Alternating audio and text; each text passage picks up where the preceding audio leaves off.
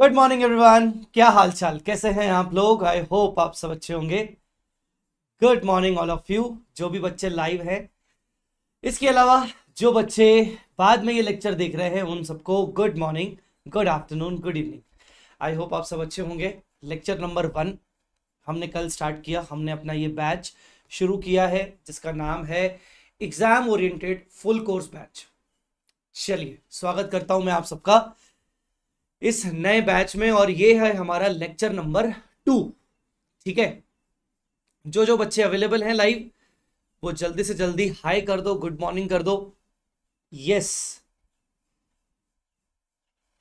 Sanjana good morning Ira good morning Apoorv good morning Saransh, Sumit good morning Rishabh Kumar good morning चलिए, शुरू करते हैं आज का सेशन सो गाइस आज के सेशन में हम क्या करने वाले हैं? आज के सेशन में क्या करने वाले हैं? सो so, सबसे पहले हम करेंगे रिवीजन ठीक है?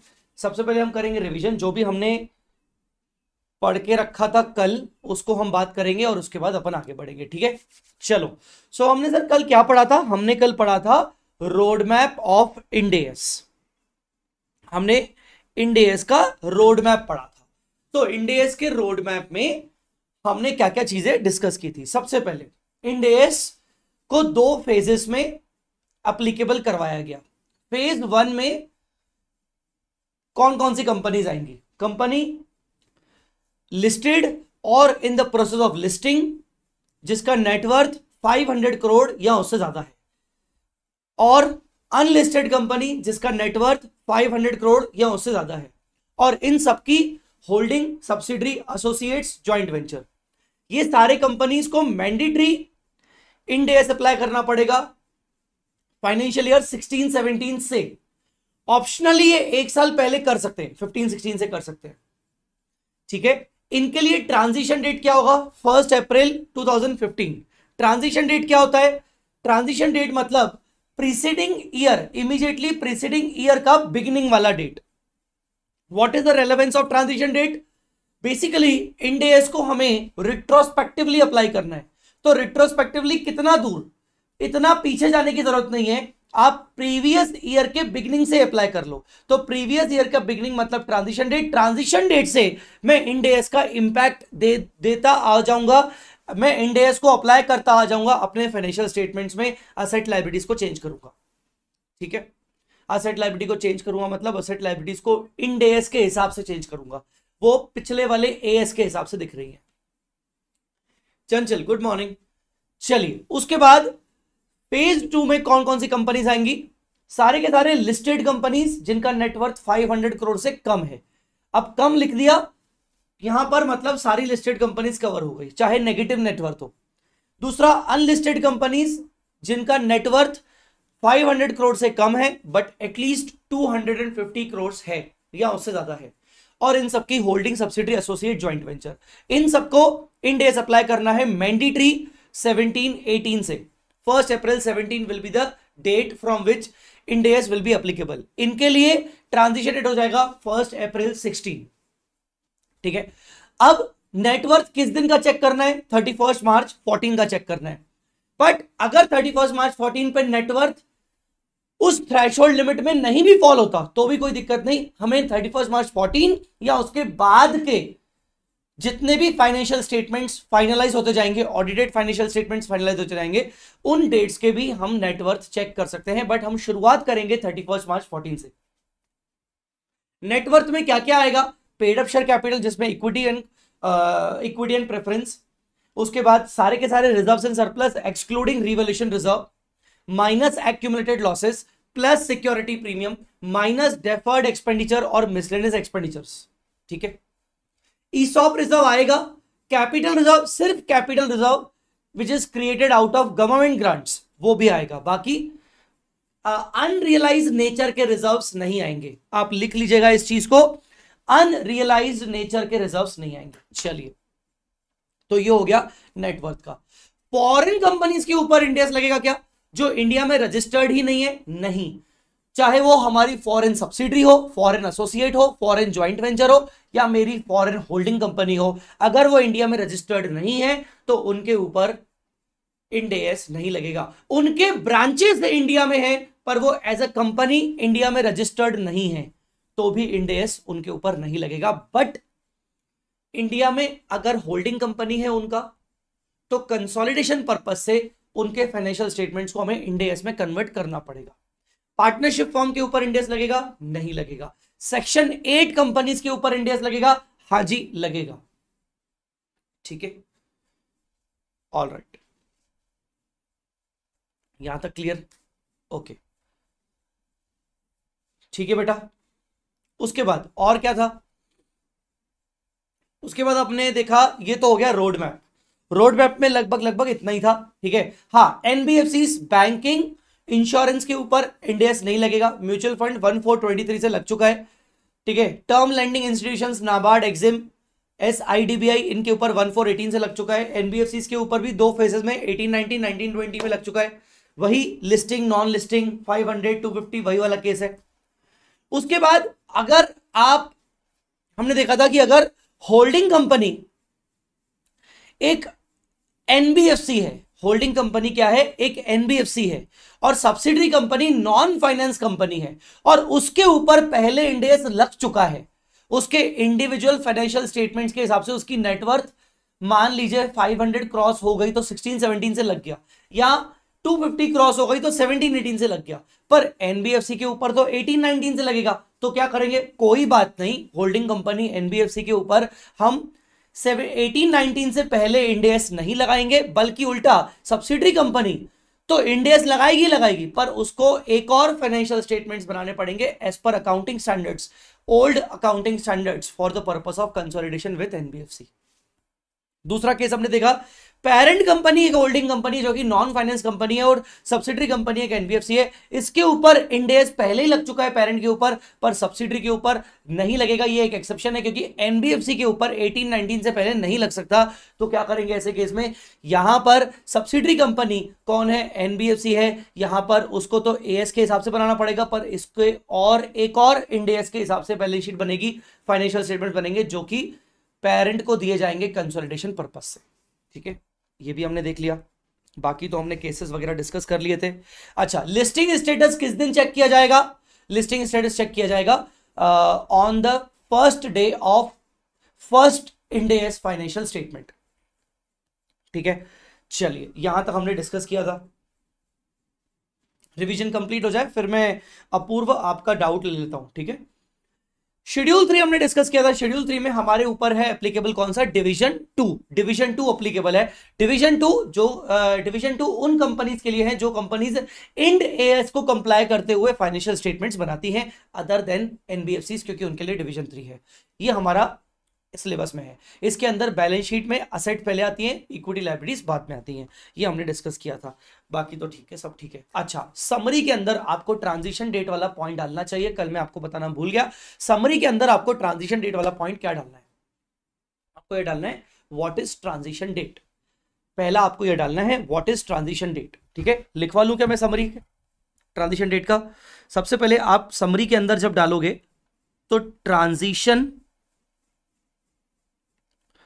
डेट डालोगे। ट्रांजिशन डेट बोलोगे आप। Beginning of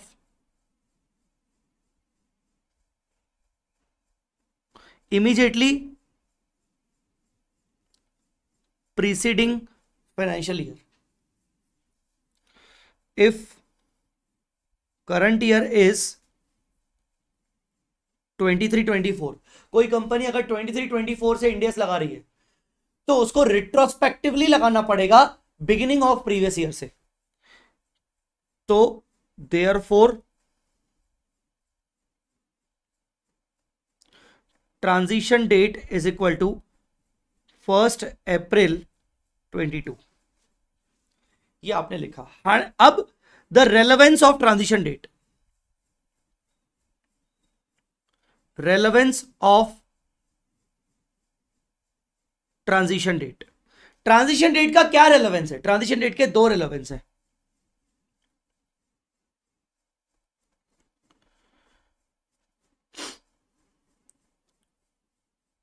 Ind AS will be retrospectively applicable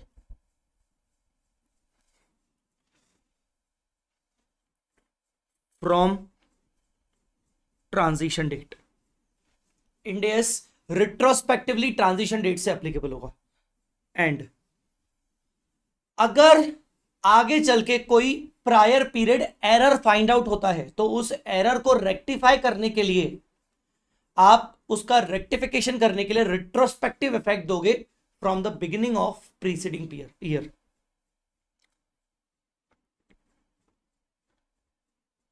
any error will be rectified अब ये वाली बात इंडेस एट में आएगी तो ये बाद में आ जाएगी। Any error will be rectified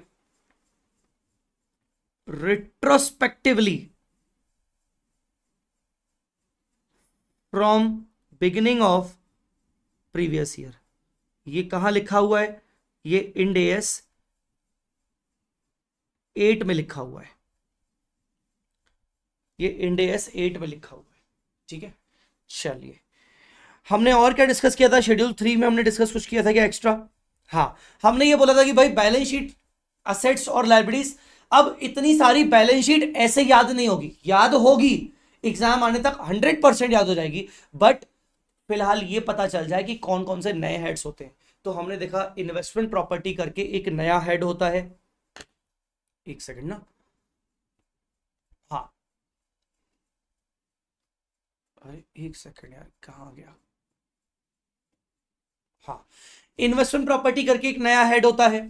उसके बाद हमने देखा बायोलॉजिकल एसेट्स करके एक नया हेड होगा। फिर फाइनेंशियल एसेट्स करके एक नया हेड होगा। फिर हमने देखा फाइनेंशियल एसेट्स करंट एसेट्स के अंदर भी नया हेड मिला। इक्विटी लाइबिलिटी में equity capital plus reserve and surplus नहीं अदर इक्विटी करके एक नया हेड है, ठीक है? अदर इक्विटी ये अदर इक्विटी ठीक है? उसके बाद लाइब्रेरीज में फाइनेंशियल लाइब्रेरीज और उसके नीचे लीज लाइब्रेरीज करके नया हेड है। और ये करंट लाइब्रेरीज में भी फाइनेंशियल लाइब्रेरीज एज और उसके अंदर लीज लाइब्रेरीज करके नया हेड है। तो ये सारी चीज़ें हमने देखी थी। इसके अलावा हमने देखा SOCIE statement of changes in equity जो भी चेंजेस होंगे इक्विटी कैपिटल में या फिर अदर इक्विटी में, उन चेंजेस को हम एक वर्किंग के थ्रू रिफ्लेक्ट करेंगे और working will be the part of financial statement SOCIE that is a part of the financial statement SOCIE सोकी को भी दो पार्ट में बनाया जाएगा, एक शेयर कैपिटल के लिए और एक अदर इक्विटी के लिए। अदर इक्विटी में ये सारे हेड्स आएँगे, जिनमें से मेजरली आपको ये वाले हेड अभी पता होंगे। इसके अलावा रिवोल्यूशन रिज़र्व आपको अलग से दिखाना है, वो एक सेपरेट हेड है एफसीटीआर एक सेपरेट हेड है, बाकी अगर आपको नहीं पता तो आपको समय पर, समय आने पर आपको इंडेस के हिसाब से पता चल जाएँगे, ठीक है? हमने यहाँ तक डिस्कस किया। चलिए, अब बढ़ते हैं आगे। और उसके पहले Apoorv sir one doubt if in any question to check applicability of Ind AS it is not mention whether it is listed और unlisted then what we have to assume? Listed or unlisted? Uh, मेरे हिसाब से तो ऐसा वो कुछ problematic problematic situation create करेंगे नहीं बट फिर भी आप वहाँ पर अनलिस्टेड मान के आओ तो बेटर है क्योंकि अगर उन्होंने लिस्टेड नहीं बताया है तो आप उसको अनलिस्टेड बोल दो ठीक है? तो अगर उन्होंने लिस्टिंग का नहीं बोला है तो आप उसको अनलिस्टेड मान सकते हो बट ऐसा कुछ प्रॉब्लमेटिक सिचुएशन वो करेंगे नहीं डोंट वरी ठीक है? चलिए, आगे बढ़े। अब देखो ध्यान से, हमने ये बैलेंस शीट का फॉर्मेट देखा।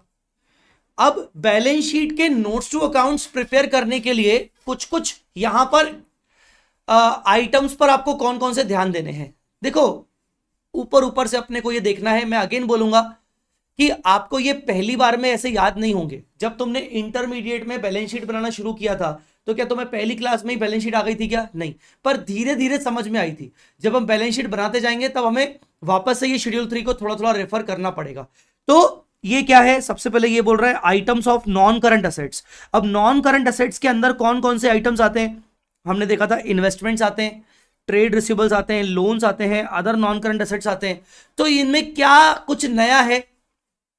ज़्यादा कुछ चीज़ें नई नहीं है। आप अगर देखोगे, वो कह रहा है investment shall be classified as भाई, आपको equity preference government securities debenture इन सभी इन्वेस्टमेंट्स को आपको सेपरेटली दिखाना है। इक्विटी के सारे इन्वेस्टमेंट अलग प्रेफरेंस के अलग डिबेंचर्स के इन्वेस्टमेंट्स अलग म्यूचुअल फंड के इन्वेस्टमेंट्स अलग अदर इन्वेस्टमेंट्स आपके बिल्डिंग वगैरह में है, वो अलग। आपको सारे इन्वेस्टमेंट्स को अलग अलग हेड में दिखाना है अलग अलग सब हेड में दिखाना है, ठीक है? Details regarding investment in subsidiary associate joint venture आपकी अगर कोई investment subsidiary associate joint venture में है तो आपको वो भी अलग अलग दिखाना है, ठीक है? Disclose quoted investments and their market values separately from the unquoted investments आपको लिस्टेड कंपनी के जो इन्वेस्टमेंट्स है कोटेड उनके उनके इन्वेस्टमेंट्स को अलग दिखाना है, उनकी मार्केट वैल्यू से रिफ्लेक्ट करके, और अनकोटेड इन्वेस्टमेंट्स को अलग दिखाना है। बुक वैल्यू उनकी होगी बुक्स ऑफ़ अकाउंट्स में, पर उनको मार्केट वैल्यू भी आपको दिखाना है अलग से। ठीक है? सो इन्वेस्टमेंट्स के केस में आपको हर प्रकार के इन्वेस्टमेंट्स को अलग अलग कैटेगराइज करना है that's it trade receivables trade receivables जब आप दिखाओगे तो ट्रेड रिसीबल्स के लिए, बल्कि एक और मैं आपको चीज़ बता दूँ, आपको ट्रेड रिसीबल्स को इस तरीके से दिखाना है। Trade receivables following ageing schedule shall be given ये एजिंग शेड्यूल आपको दिखाना पड़ेगा ट्रेड रिसीबल्स में। आप आई होप आपने रियल लाइफ में शायद कुछ बच्चों ने प्रैक्टिकली ऐसा एजिंग शेड्यूल वगैरह देखा हो या बनाया हो। तो इसमें क्या करोगे? सबसे पहले undisputed trade receivable considered good undisputed मतलब जिनके साथ कोई डिस्प्यूट नहीं है. Again undisputed trade receivable which are which are having significant increase in credit risk और which are credit impaired sir तीनों में फ़र्क क्या है? कंसिडर्ड गुड मतलब पैसे मिल जाएँगे. Significant increase in credit risk मतलब थोड़ा डाउटफुल है. और क्रेडिट इंपेयर्ड मतलब bad debt kind of bad debt as good as bad debt तो क्रेडिट इंपेयर्ड का मतलब होता है that is bad debt sir bad debt हो गया तो फिर डेटर क्यों दिख रहा है? बेटा, हो सकता है इसके अगेंस्ट सिर्फ़ प्रोविज़न बनाया हो। Provision for bad and doubtful debt बनाया हो। हमने एक्चुअल में उसको राइट ऑफ़ नहीं किया है। फिर उसके बाद disputed trade receivable considered good disputed trade receivable which is having significant increase in credit risk और डिस्प्यूटेड क्रेडिट इंपेयर्ड कोई मिला के दो हिस्सों में दिखाना है। अनडिस्प्यूटेड डिस्प्यूटेड अनडिस्प्यूटेड के अंदर तीन डिस्प्यूटेड के अंदर तीन। Considered good significant increase in credit risk और क्रेडिट इंपेयर्ड फिर आपको इसमें एजिंग दिखानी है कि आपके outstanding amount less than six months कितने हैं? Six to one year one year to two year two year to three year and more than three years इस तरीके से आपको एजिंग शेड्यूल आपको ट्रेड रिसीबल्स का दिखाना पड़ेगा। समझ में आ गया? ठीक है? Provision for bad and doubtful debt shall be separately disclose आपको provision for bad and doubtful debt अलग से दिखाना होता है। ये चीज़ आपको बचपन से समझाई गई है। ठीक है? Debts due by directors officer shall be separately disclose अगर मुझे डायरेक्टर से कुछ पैसा लेना है कंपनी के ऑफिसर से पैसा लेना है तो वो भी मुझे सेपरेटली डिस्क्लोज दिखाना है। एजिंग शेड्यूल मुझे दिखाना है, ठीक है?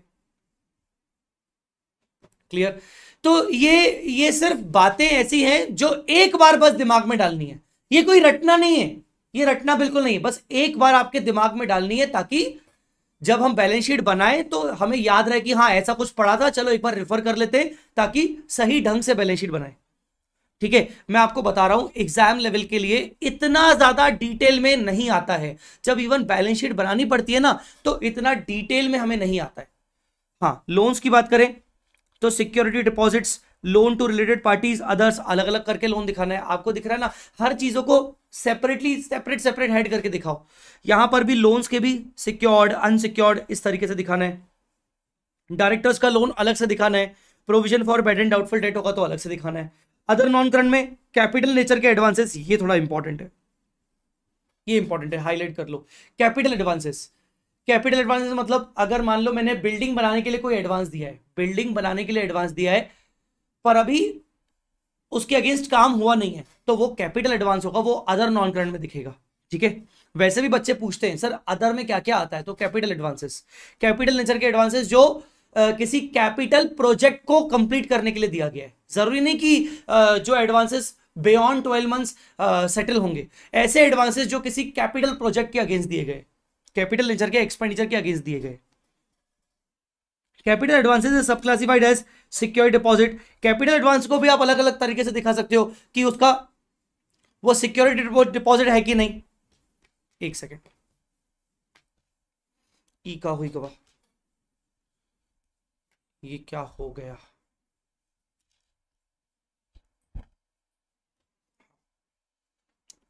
तो कैपिटल एडवांसेस का नेचर अगर सिक्योरिटी डिपॉजिट है तो वो अलग से दिखाना है।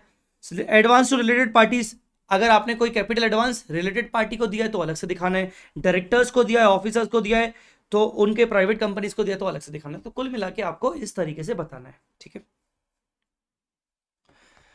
हाँ other financial assets secure deposits bank deposits with more than twelve months maturity ठीक है? Items of current assets current assets के आइटम्स भी सेम टू सेम इसमें जैसे इन्वेस्टमेंट में वापस से डिस्कस नहीं करूँगा ट्रेड रिसिबल का वापस से डिस्कस नहीं करूँगा लोन वापस से डिस्कस नहीं करूँगा. क्या क्या बच गया? इन्वेंट्री इन्वेंट्री में आप रॉ मटेरियल अलग दिखाओगे डब्ल्यू अलग दिखाओगे फिनिश गुड्स अलग दिखाओगे स्टॉक इन ट्रेड अलग दिखाओगे. स्टॉक इन ट्रेड और फिनिश गुड्स में फ़र्क होता है. फिनिश गुड्स जो आप खुद मैन्युफैक्चर करते हो स्टॉक इन ट्रेड मतलब जो आप बाहर से परचेस करके बेचते हो. ठीक है? स्टोर्स स्पेयर्स लूज टूल्स अगर छोटे छोटे लूज टूल्स अगर आपने इन्वेंट्री बनाए तो अलग से दिखाओगे। ठीक है? गुड्स इन ट्रांजिट जीआईटी को आप अलग से दिखाओगे separately mode of valuation self shall be disclose आपने उसको कैसे वैल्यू किया है? कॉस्ट और NRV whichever is lower cost के अंदर भी आपने फीफो लिया है वेटेड एवरेज लिया है, वो सब आप दिखाओगे मोड ऑफ़ वैल्यूएशन ठीक है? Cash and cash equivalent classified into bank balance with banks balance with banks अलग दिखाओगे। चेक्स ड्राफ्ट्स अलग दिखाओगे कैश इन हैंड अलग दिखाओगे। Others such as F Ds lower than twelve months और short term highly liquid investments आप जानते हो, जो भी एफ़ डीज जो अप टू थ्री मंथ्स की मेच्योरिटी के होते हैं, उनको कैश इक्विलेंट में रखा जा सकता है। ठीक है? तो यहाँ पर F Ds lower than twelve ना करके थ्री कर दो बेटा। ये थ्री है। एक्चुअली थ्री है। एफ़ डी का फंडा ये है एफडी का फंडा ये है।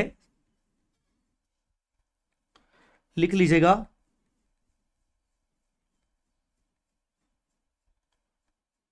Fix deposits.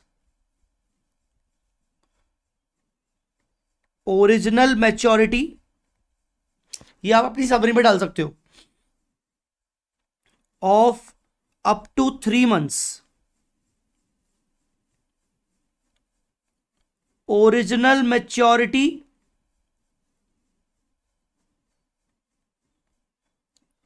up to twelve months. Original maturity, sir ये ओरिजिनल मेच्योरिटी का मतलब जिस दिन तुमने एफडी में इन्वेस्टमेंट किया वहाँ से लेकर, ना कि बैलेंस शीट से।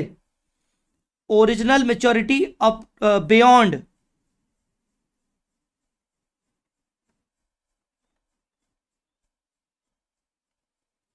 twelve months तो ओरिजिनल मेच्योरिटी से चेक करना मतलब from the date of investment original maturity मतलब from the date of investment not from the date of balance sheet इसको हम मानेंगे कैश इक्विवेलेंट इसको हम मानेंगे करंट असेट इन्वेस्टमेंट। और कहाँ लिखेंगे? अंडर फाइनेंशियल असेट और इसको हम मानेंगे non current. Same. Investment, financial asset ठीक है? Clear? From the date of investment not from the date of balance sheet. So 3 12 months from date of investments not from balance sheet date ये ध्यान रखना है। ठीक है?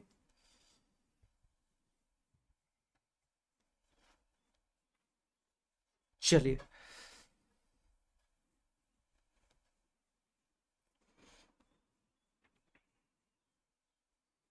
तो ये हो गया आपका cash and cash equivalent ageing schedule हमने डिस्कस कर लिया। नॉन करंट लाइबिलिटी में क्या नया है? नॉन करंट लाइबिलिटी में क्या नया है? आ, जैसे नॉन करंट लाइबिलिटी की बात करें तो बोरिंग्स सेम जैसे इन्वेस्टमेंट्स अलग अलग दिखाने हैं वैसे ही। आपके बॉन्ड्स डिबेंचर्स का बोरिंग है वो अलग दिखाना है। टर्म लोन फ्रॉम बैंक अलग दिखाना है रिलेटेड पार्टी अलग दिखाना है।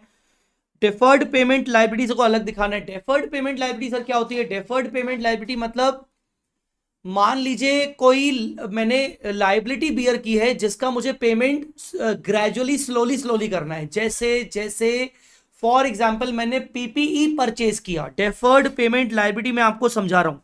मैंने पीपीई परचेज किया for three months credit period three years credit period three years के क्रेडिट पीरियड के लिए मैंने पीपीई परचेज किया। अब थ्री ईयर्स मतलब मोर देन ट्वेल्व मंथ्स मतलब वो हो गई मेरी नॉन करंट लाइबिलिटी तो मैं उसको बोरोइंग के अंदर दिखाऊँगा डेफर्ड पेमेंट लाइबिलिटी तो यहाँ पर मैंने पीपी परचेज किया, जिसका पेमेंट मुझे ग्रेजुअली स्लोली स्लोली करना है विद इन थ्री ईयर्स तो मुझे जितना भी पेमेंट करना है वो मेरा डेफर्ड पेमेंट लाइबिलिटी में दिखेगा। ठीक है? Deposits loan from related parties loan from maturities of financial liabilities finance lease ठीक है? Liability component of compound financial instrument ये आपको अभी इतनी जल्दी समझ में नहीं आएगा। ये फाइनेंशियल इंस्ट्रूमेंट uh, का एक चैप्टर है उसके अंदर समझाऊँगा मैं। Other loans borrowing will be further classified as secured unsecured guarantee by directors कितने बोरिंग में गारंटी डायरेक्टर्स ने दिया है? Bonds debentures in descending orders of maturity any redeemed bonds और debentures which are which the company can reissue terms of repayment क्या है? Period and amount of default as on balance sheet date तो कुल मिला के ये सारी आपको बातें दिखानी पड़ती है। क्या ये हमें एग्ज़ाम में काम आएँगी? नहीं आएँगी एग्ज़ाम में काम। ठीक है? बट ये रियल लाइफ में काम आएँगी। बस इसका हेड आपको सेपरेटली ध्यान रखना है। ठीक है?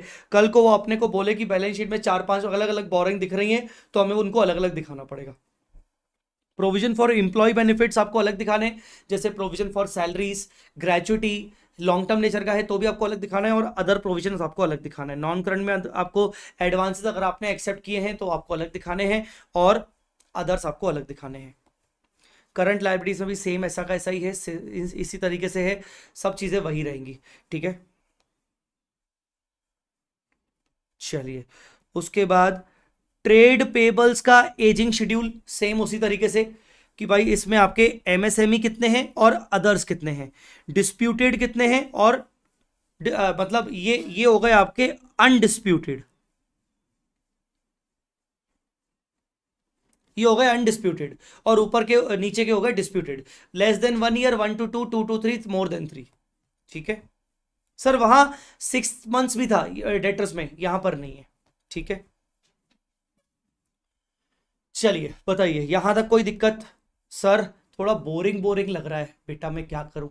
अगर मैं आपको ये शेड्यूल थ्री ऐसे ही स्किप करवा दूँ, और बाद में मैं आपको बोलूँ कि बेटा बैलेंस शीट बनानी है अपने को तो बेटा शेड्यूल थ्री घर से पढ़ के आना तुम तो वो भी नहीं पढ़ के आओगे। कम से कम यू शुड बी थैंकफुल कि चलो ठीक है यार, सामने वाला बंदा पढ़ा के खत्म कर रहा है।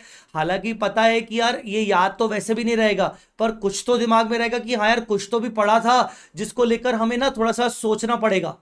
तो ये ये थोड़ा सा आपको मैं इसलिए बोल रहा हूँ कि यस थोड़ा सा बोरिंग लग रहा है बट याद है आपको आपको एक चीज़ याद है? सी ए इंटरमीडिएट में सोचो। सी ए इंटरमीडिएट में जब आपने अपनी क्लासेस शुरू की थी तो आपको जब ए एस पढ़ाए जाते थे तो डायरेक्टली क्या आपको टफ वाला ए एस पहले पढ़ाया जाता था?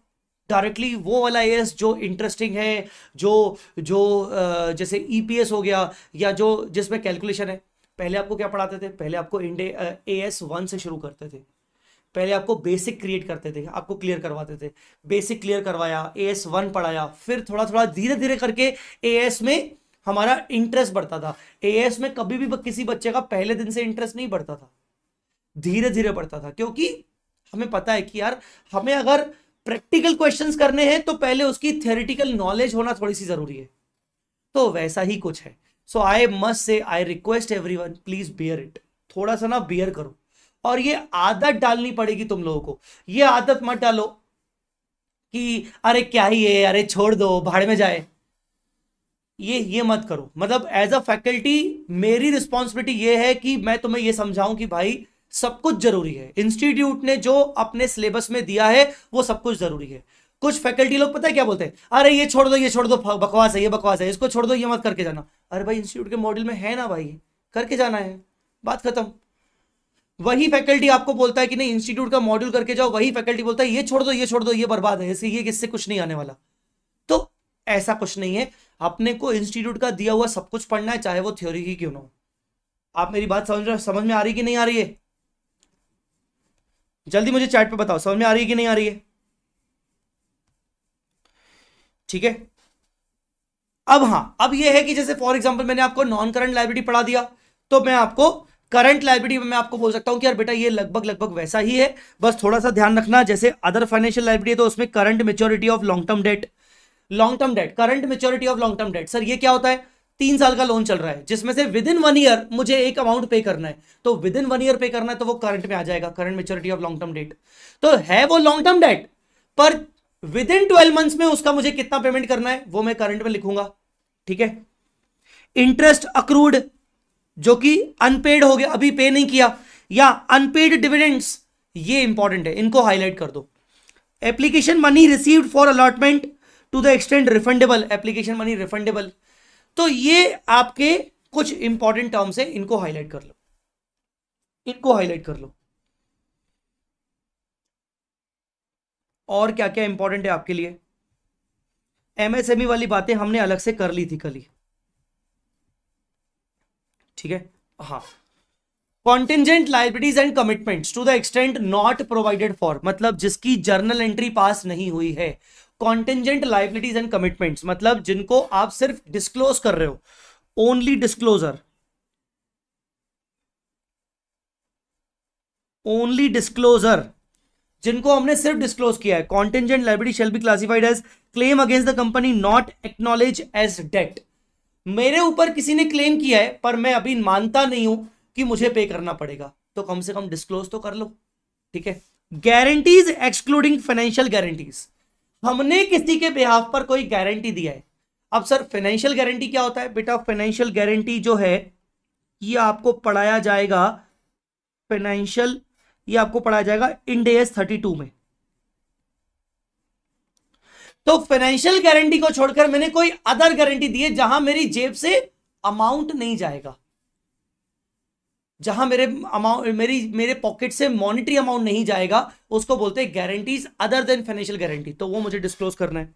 Other money for which company is contingently liable commitment shall be classified estimate amount of contract remaining to be executed on the capital account कुछ कॉन्ट्रैक्ट्स अभी कंप्लीट नहीं हुए हैं, जिसको मुझे कंप्लीट करना पड़ेगा। Uncalled liability on shares other commitments ये सारे के सारे चीज़ें आपके कॉन्टिजेंट लाइबिलिटीज एंड कमिटमेंट्स में आती हैं। Following ratios to be disclose अभी ऐसा आ गया है कि हर एक कंपनी को ये सारे रेशियोज डिस्क्लोज करने पड़ेंगे। रेशियोज ये कैसे निकाले जाते हैं?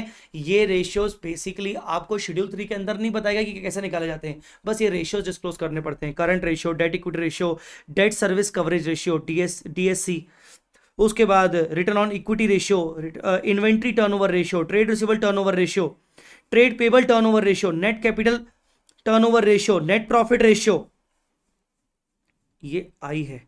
Return on capital employed return on investment ये सारे के सारे रेशियोज आपको डिस्क्लोज करने पड़ेंगे। The company explain the items included in numerator and denominator of the computing the ratios further explanation will provide for any change in the ratio by more than 25 percent as compare to the previous year अगर किसी भी ratio में 25 percent से ज़्यादा का change है तो आपको उसके एक्सप्लेनेशन देने पड़ेंगे। ठीक है? चलिए। तो ये था आपके बैलेंस शीट रिलेटेड कुछ कुछ इंपॉर्टेंट इंस्ट्रक्शंस मैंने उतना ही अपने नोट्स में डाला है जितना रेलेवेंट है। अदरवाइज़ मैंने सारी चीज़ें बाकी डिलीट कर दी हैं, जो कि relevant exam point of view से नहीं है। या थोड़ा बहुत relevant knowledge point of view से। अब जैसे ये रेशियोज है, क्या ये एग्ज़ाम पॉइंट ऑफ़ व्यू से रिलेवेंट है? नहीं, पर थोड़ा बहुत हल्का फुल्का नॉलेज भी साथ साथ में ज़रूरी है। अब आते हैं profit and loss profit and loss में क्या नया है? प्रॉफिट एंड लॉस में क्या नया है? देखो जी रेवेन्यू फ्रॉम ऑपरेशन पहले भी था। अदर इनकम पहले भी था। मतलब टोटल इनकम था। एक्सपेंस की बात करें कॉस्ट ऑफ़ मटेरियल कंज्यूम्ड इसमें क्या क्या आता है? Opening raw material plus purchase minus closing raw material ये पहले भी था। Purchase of stock in trade पहले भी था। रॉ मटेरियल अलग होता है स्टॉक इन ट्रेड अलग होता है। Changes in inventory of finish stock finish goods stock in trade opening closing inventory का डिफरेंस पहले भी था। ओपनिंग और क्लोजिंग इन्वेंट्री का डिफरेंस। इंप्लॉय बेनिफिट एक्सपेंस पहले भी था। फाइनेंस कॉस्ट पहले भी था। डेप्रिसिएशन अमोटाइजेशन पहले भी था। अदर एक्सपेंस पहले भी था। मतलब आपको कैसे याद रखना है? दो इनकम के, सात एक्सपेंस के। कैसे याद रखना है? दो income seven expense two income कौन सा? Revenue from operation other incomes seven expenses COMC cost of material consumed ठीक है? उसके बाद purchase of stock in trade changes in inventory उसके बाद employee benefit expense finance cost depreciation amortisation and others ठीक है? फिर उसके बाद exceptional items profit before exceptional items and tax और एक्सेप्शनल आइटम पहले एक हेड हुआ करता था extraordinary item extraordinary item अब नहीं होता है एक्स्ट्रा ऑर्डनरी आइटम को प्रोहिबिट कर दिया गया है। ठीक है? उसके बाद प्रॉफिट बिफोर टैक्सेस उसके बाद टैक्स उसके बाद tax expense profit loss from continuing operation ये अब ज़रूरी है। ध्यान से देखिएगा, ये जो भी आपको ऊपर से लेकर हेड आए, यहाँ से लेकर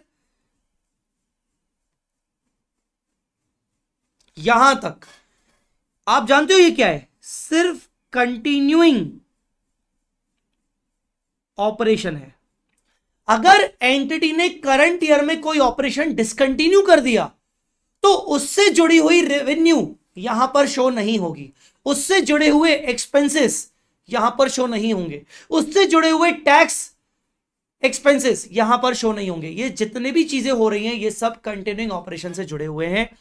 डिसकंटिन्यूइंग ऑपरेशन डिसकंटिन्यूड ऑपरेशन को अलग से दिखाना है। Profit loss from discontinued operation उसका टैक्स एक्सपेंस और profit loss after tax from discontinue operation मतलब अगर कोई ऑपरेशन डिसकंटिन्यू हुआ है तो उसका रेवेन्यू अलग से दिखाने की ज़रूरत नहीं है। उसका डायरेक्टली पी दिखाओ। उसके रेवेन्यू अदर इनकम सारे एक्सपेंसेस दिखाने की ज़रूरत नहीं है। सीधा सीधा उसका प्रॉफिट बिफोर टैक्स दिखा दो टैक्स एक्सपेंस दिखा दो और प्रॉफिट आफ्टर टैक्स दिखा दो डिसकंटिन्यूड बिज़नेस का। तो कंटिन्यूइंग ऑपरेशन में इतना ज़्यादा तामझाम है revenue from operation other incomes expenses seven फिर एक्सेप्शनल आइटम्स फिर प्रॉफिट बिफोर टैक्स फिर टैक्स और प्रॉफिट आफ्टर टैक्स जबकि डिसकंटिन्यूड ऑपरेशन है तो सीधा सीधा प्रॉफिट बिफोर टैक्स टैक्स और प्रॉफिट आफ्टर टैक्स ठीक है? तो क्या करेंगे हम? Presentation of statement of P and L आ रहा हूँ मैं अपूर्व में आ रहा हूँ एक्सेप्शन आइटम में कौन कौन से आएँगे। Presentation of statement of P and L तो इसमें कंटिन्यूइंग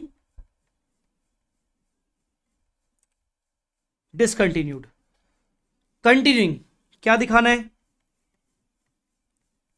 रेवेन्यू फ्रॉम ऑपरेशन दिखाना है। अदर अदर इनकम्स दिखाना है। उसके बाद आपका सी ओ एम सी दिखाना है। परचेजेस दिखाना है। चेंजेस इन इन्वेंट्री दिखाना है।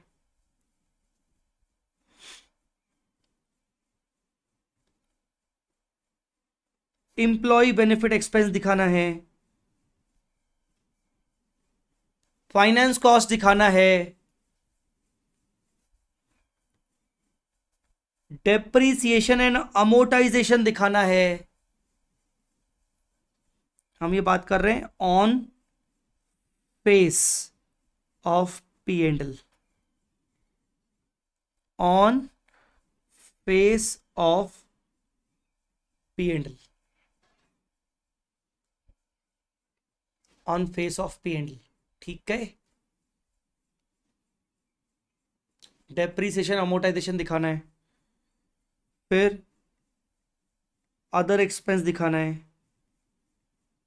फिर एक्सेप्शनल आइटम्स दिखाने हैं। फिर टैक्स एक्सपेंस दिखाना है। पर यहाँ पर profit before tax tax expense profit after tax बस, ऐसा। ये ध्यान रखना है आपको। कुछ आई मेरी बात समझ में? क्यों? मेरी बात समझ में आई कि नहीं?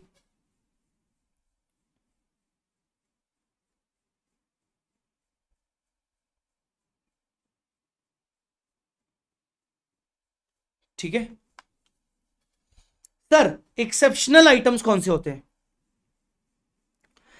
एक्सेप्शनल आइटम्स मतलब जिनका सेपरेट डिस्क्लोज करना ज़रूरी है, पर उनके लिए कोई सेपरेट हेड नहीं बनाया गया। उनको बोलते हैं एक्सेप्शनल आइटम्स लिखिए, चलो, ये वाला पॉइंट अगर तुम चाहो तो समरी में डाल देना। एक्सेप्शनल आइटम्स एक्सेप्शनल आइटम्स तुम तो ये वाला पॉइंट भी समरी में डाल सकते हो। एक्सेप्शनल आइटम्स कौन सा होता है? ऐसे आइटम्स जिनका सेपरेट डिस्क्लोजर ज़रूरी है to explain the performance of the entity but उनका कोई सेपरेट हेड डिस्क्राइब नहीं किया गया. सो दोज इनकम्स और expenses which are required to disclose separately to explain the performance of entity. But their separate head is not available on face of P&L जिनका separate head available नहीं है, पर हमें उनको सेपरेटली डिस्क्लोज करना है। Separate head is not available क्या करोगे? सेपरेट हेड अवेलेबल नहीं है सेपरेटली डिस्क्लोज करना है तो हमने एक एक्सेप्शनल आइटम का हेड बना दिया, उसमें डाल दो, ठीक है? और ये डिस्क्लोज क्यों करना है? ताकि हम एंटिटी का परफॉर्मेंस दिखा सकें, कितना हुआ एक्सप्लेन कर सकें। उसको बोलते हैं एक्सेप्शनल आइटम इसको समरी में डाल देना। मेरा काम बस ये है कि मैं तुम्हें बताऊँ कि किसको तुम्हें समरी में डालना है। कभी लिखवाऊँगा, कभी नहीं लिखवाऊँगा। कभी सिर्फ़ डिक्टेट कर दूँगा। पर तुम्हें समरी में डालना है। मेरा काम यह है, मैं तुम्हें बताऊँगा ज़रूर कि बेटा इस चीज़ को समरी में डाल दो। हो सके तो मेरे बताने के अलावा कुछ पॉइंट अगर तुम्हें खुद को लगती है यार ये वाली बात तो बहुत ज़रूरी थी तो उसको समरी में डाल देना। चलो। आगे बढ़ सकते हैं? आगे, इसके आगे आ रहा है। आपका ये हो गया total profit loss for the period total profit loss for the period total आ गया ये आपका profit loss for the period total profit loss for the period अब देखो यहाँ पर क्या है? एक नया, एक आइटम है ओसीआई अदर कॉम्प्रहेंसिव इनकम इसके बारे में मैं थोड़ी देर बाद में डिस्कस करूँगा इंडेस वन के अंदर। मैं आपके साथ इंडेस वन जब डिस्कस करूँगा, ठीक है? इंडेस वन जब मैं डिस्कस करूँगा तो मैं बताऊँगा, फ़िलहाल इसको बस तुम याद रखो कि पी पीएनडल में एक ओसीआई करके अदर कॉम्प्रहेंसिव इनकम ओसीआई करके ओसीआई करके एक हेड आता है। मैं इसको थोड़ी देर के लिए पेंडिंग रख रहा हूँ। क्या है ये आइटम कुछ ऐसे इनकम एक्सपेंसेस जिसको आप डायरेक्टली पीएनडल में नहीं डालते हो, पर वो है तो इनकम एक्सपेंस तो हमें उनको अलग से दिखाना पड़ता है। ना ही वो आपके कंटिन्यूइंग से रिलेटेड है, ना डिसकंटिन्यूइंग से रिलेटेड है कंपनी के ही है, पर ऐसे इनकम एक्सपेंसेस जिनको आप ऊपर नहीं दिखाना चाह रहे हो पीएनडल में नहीं दिखाना चाह रहे हो, उसको हम अलग से दिखाते हैं। कैसे दिखाते हैं, क्या दिखाते हैं, क्यों दिखाते हैं, कौन से आइटम होते हैं, वो सबके बारे में बाद में बात करूँगा इंडिया वन के अंदर। आज हमें वैसे भी इंडिया वन डिस्कस करना है। फिर आपने टोटल इनकम आ गई अब आपकी पीएनडल वाली और ओसीआई वाली, फिर आप अपना ईपीएस दिखाओगे। ईपीएस भी आप अपना कंटिन्यूइंग ऑपरेशन का अलग दिखाओगे डिसकंटिन्यूइंग का अलग दिखाओगे और टोटल का अलग दिखाओगे ईपीएस इस तरीके से आपका पीएनडल का स्टेटमेंट हो गया। आप एक काम करो, दो से तीन मिनट का मैं आपको टाइम दे रहा हूँ। एक काम करो, जितने भी जनरल इंस्ट्रक्शंस आपको पीएनडल के दिख रहे हैं one two three four five जितने पढ़ सको जितने पढ़ सको, कोई ऐसे हार्ड एंड फास्ट रूल नहीं है, जितने पढ़ सको, पाँच मिनट का टाइम दे रहा हूँ, दो तीन मिनट का भी नहीं, पाँच मिनट का टाइम दे रहा हूँ वन से लेकर सेवन तक, पूरा का पूरा पढ़ के रखो, एक बार रीड करके रखो, फिर मैं आपके साथ डिस्कस करूँगा, ठीक है? एक बार रीड करके रखो।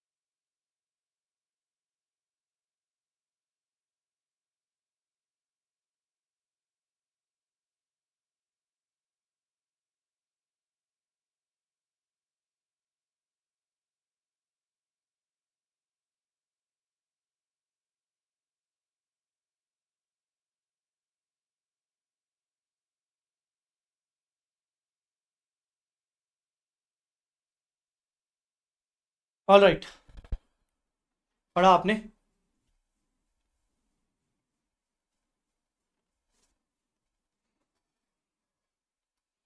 पढ़ लिया क्या?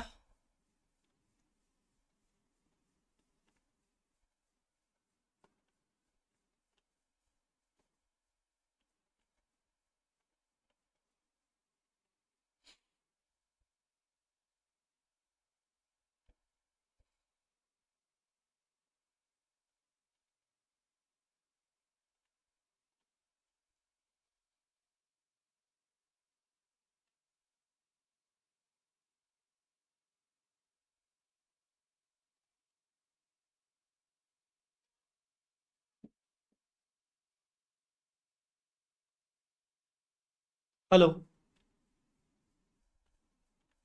चलो। क्या क्या बोल रहा है? The statement of profit and loss shall include profit loss for the period other comprehensive income जिसको मुझे आपको अभी थोड़ी देर में समझाना है। तो पीएनडल के अंदर दो दो दो आ, क्या बोलते हैं? अरे यार दो तरीके से क्लासिफाई किया गया पीएनडल को। एक पीएनडल के आइटम्स और दूसरा ओसीआई के आइटम्स दो हिस्सों में बांटा गया है यस पीएनएल को दो हिस्सों में डिवाइड किया गया। है एक तो पीएनएल के आइटम्स और दूसरा ओसीआई के आइटम्स और दोनों को मिलकर क्या कहा जाता है? Total comprehensive income revenue from operation shall disclose separately in the notes revenue from operation में क्या क्या देखेगा? Sale of product sale of service grant और donation received relevant in case of section eight companies अगर आप section eight company हो तो क्योंकि उनके लिए सेक्शन एट कंपनीज़ के लिए कहीं ना कहीं ये जो डोनेशंस होते हैं ग्रांट होते हैं, ये डायरेक्ट इनकम के नेचर के होते हैं। पर अगर आप सेक्शन एट कंपनी नहीं हो तो फिर यहाँ डायरेक्टली नहीं लिखोगे। और अदर ऑपरेटिंग रेवेन्यूज अगर उसके अलावा आपको कोई दूसरे ऑपरेटिंग रेवेन्यूज आ रहे हैं तो प्रोडक्ट का अलग सर्विस का अलग ग्रांट अलग और ऑपरेटिंग रेवेन्यूज अलग। Finance cost finance cost shall be classified as interest अलग। Dividend on the redeemable preference share sir dividend finance cost कब से होना लगा? बेटा रिडीमेबल प्रेफरेंशियर एक तरीके से लाइबिलिटी होती है। Redeemable preference share is a liability it is a liability borrowing ये एक बोरोइंग है बोरोइंग क्योंकि अल्टीमेटली मुझे अमाउंट को रीपे करना है। तो इसीलिए मैं उसका डिविडेंड को finance cost मानूँगा। Exchange difference regarded as an adjustment to the borrowing cost ये मैं बात करूँगा आपसे Ind A S twenty three में। आप ए एस सिक्सटीन में भी इसको पढ़ के आए हो कि एक्सचेंज डिफरेंस का उतना हिस्सा जिससे आपका इंटरेस्ट की फॉरेन करेंसी लोन का इंटरेस्ट आपका सेव हो रहा है तो उसको बोरिंग कॉस्ट मानते हैं। याद नहीं आ रहा है तो कोई बात नहीं, मैं इंडिया ट्वेंटी थ्री में पढ़ा लूँगा। Other borrowing cost other borrowing cost specify the nature बाकी जो दुनिया भर की दूसरी बोरिंग कॉस्ट है, वो भी आपको अगर यहाँ पर अगर कुछ होगी तो आ जाएगी। अदर इनकम्स अदर इनकम्स में interest income dividend income other non operating incomes other comprehensive income shall be classified into यहाँ पर भी अभी मैं नहीं समझा रहा हूँ, रुक जाओ, थोड़ी देर रुक जाओ। ओसीआई के आइटम्स को दो हिस्सों में क्लासिफाई करना है। एक एनआरपीएल एक RPL NRPL items that will be reclassified to P और items that will be class re not to be reclassified ये हो गया नॉट रिक्लासिफाइड टू पी और ये हो गया reclassified to P NRPL RPL अब ये क्या होता है एनआरपीएल आरपीएल थोड़ी देर रुक जाओ। ओसीआई के आइटम्स ये कौन कौन से हैं क्या क्या है, मैं बता दूँगा। ठीक है? हाँ ये थोड़ा सा इंपॉर्टेंट है। A company shall disclose by way of notes additional information regarding aggregate expenditure and income on the following items आप इन सभी आइटम्स को नोट्स अकाउंट्स में दिखाओगे ही दिखाओगे। इन सभी आइटम्स को आपको नोट्स अकाउंट्स के अंदर शो करना ही पड़ेगा। जैसे, अगर इंप्लॉय बेनिफिट एक्सपेंस की बात करें तो उसमें आपको सैलरी वेजेस आपने कितने पे किया? प्रोविडेंट फंड में आपका कितना कॉन्ट्रीब्यूशन है? शेयर बेस्ड पेमेंट आप कितना दे रहे हो इंप्लॉयज को? और स्टाफ वेलफेयर एक्सपेंस आप इंप्लॉय बेनिफिट एक्सपेंस में मिनिमम ये चार हेड्स तो दिखाओगे ही दिखाओगे। डेप्रीसिएशन अमोटाइजेशन आपको नोट्स अकाउंट्स में दिखाना ही दिखाना है। ऐसा कोई भी इनकम और एक्सपेंस ऐसा कोई भी इनकम और एक्सपेंस जो कि एक्सीड कर रहा है one percent of the revenue from operation और rupees ten lakh whichever is higher revenue from operation का वन परसेंट और ten lakh whichever is higher अगर उस थ्रेश लिमिट से एक्सीड कर रहा है तो आपको उसको नोट्स अकाउंट्स में सेपरेटली दिखाना पड़ेगा बिकॉज़ वो मटेरियल आइटम है, ठीक है? इंटरेस्ट इनकम सेपरेटली दिखानी पड़ेगी इंटरेस्ट एक्सपेंस सेपरेटली दिखाना पड़ेगा डिविडेंड इनकम सेपरेटली दिखाना पड़ेगा। आपने जो भी इन्वेस्टमेंट बेचे, खरीदे हैं, उनमें ऊपर, उनके ऊपर जो भी आपको गेन लॉस हुए, उनको अलग से दिखाना पड़ेगा। फॉरेन करेंसी ट्रांजेक्शन पर आपको जो भी गेन लॉस हुए उनको अलग से दिखाना पड़ेगा। ऑडिटर को जो पेमेंट आपने किया है, उसके अंदर एक्चुअली ऑडिटर का फ़ीस के रिगार्डिंग टैक्सेशन मैटर के रिगार्डिंग कंपनी लॉ मैटर के रिगार्डिंग अदर सर्विसेज़ और रीइंबर्समेंट ये सब अलग अलग दिखाना पड़ेगा। फिर सीएसआर में जो आपने एक्सपेंडिचर किया है 135 सीएसआर कॉर्पोरेट सोशल रिस्पॉन्सिबिलिटी में जो भी आपने एक्सपेंडिचर किया है, वो अलग से दिखाना पड़ेगा। Details of items of exceptional nature जो अभी हमने डिस्कस किया, ये अलग से दिखाना पड़ेगा। मतलब नोट्स टू अकाउंट्स के अंदर आपको मिनिमम ये वाली बातें तो दिखानी ही है। ठीक है? ये वाली लिमिट याद रख लेना। Income expense exceed one percent of the revenue from operation और ten lakh whichever is higher उसको सेपरेटली दिखाना पड़ेगा। समरी के अंदर क्या डालना चाहिए? समरी के अंदर तुम्हें डालना चाहिए शेड्यूल थ्री की अगर तुम समरी बना रहे हो, तुमने अगर समरी अभी तक कंटिन्यूस वैसे बनाई है कि रोड में बना ली और फिर शेड्यूल थ्री भी उसी के साथ मर्ज कर ली तो कोई बात नहीं, अगले चैप्टर की अलग से कर देना। शेड्यूल थ्री तुमने अलग से बनाई है तो तुम ये वाला पॉइंट ज़रूर डाल दो कि पीएनएल के अंदर कोई भी इनकम और एक्सपेंस को सेपरेटली नोट्स टू अकाउंट्स के द्वारा नोट्स को नोट्स टू अकाउंट्स के बेसिस पर दिखाया जाएगा। अगर वो one percent of revenue from operation और ten lakh whichever is higher से एक्सीड कर जाए तो। तो ये वाला पॉइंट प्लीज़ डाल देना। Last but not the least rounding off rule depending upon the total income of the company figures appearing in the financial statements shall be round off as below shall be round off as below ठीक है? क्या बोल रहे हैं? अगर turnover less than 100 crore rupees है तो आपका राउंडिंग ऑफ़ रूल क्या लगेगा? Nearest hundreds thousands lakhs millions और अगर आपका टर्नओवर 100 करोड़ या उससे ज़्यादा है तो आप राउंडिंग ऑफ़ करोगे नियरेस्ट लैक्स मिलियंस क्रोर्स क्या क्या हट गया? हंड्रेड्स और थाउजेंड्स हट गया। तो अगर आपका टर्नओवर अगर आपका टर्नओवर हंड्रेड करोड़ के अंदर अंदर है हंड्रेड करोड़ के नीचे है तो आप राउंडिंग ऑफ़ अपने सारे फिगर्स को बैलेंस शीट पीएनडल के सारे फिगर्स को balance sheet P and L cash flow statement सभी फिगर्स जो आएँगे इन सब चीज़ों के अंदर, वो nearest hundreds thousands lakhs millions millions मतलब one million is equal to ten lakh पर अगर हंड्रेड करोड़ टच हो गया या उससे ज़्यादा है तो आप हंड्रेड्स और थाउजेंड्स में नहीं दिखा सकते नियरेस्ट लैक्स में राउंड ऑफ़ करो या मिलियंस में, या क्रोर्स में, ठीक है? और decimal thereof once a unit of measurement is used, it should be used uniformly in the financial statements. आप पिछले साल आपने रुपीज़ इन लैक्स दिखाया, इस बार आप मिलियंस दिखा रहे हो, ऐसे मत करो। आप उसको कंसिस्टेंट बेसिस पर सेम यूनिट फॉलो करो, ठीक है? चलिए तो ये हो गया आपका schedule number three schedule three की जो भी इंपॉर्टेंट बातें एग्ज़ाम ओरिएंटेड थी वो हमने डिस्कस कर ली। ये हो गया आपका शेड्यूल थ्री चलो, मुझे बताओ, अभी तक कोई डाउट टेल मी अभी तक कोई डाउट तुम लोगों में से कितने लोग समरी को प्रिपेयर कर रहे हैं? समरी बना रहे हैं। कितने लोग समरी बना रहे हैं?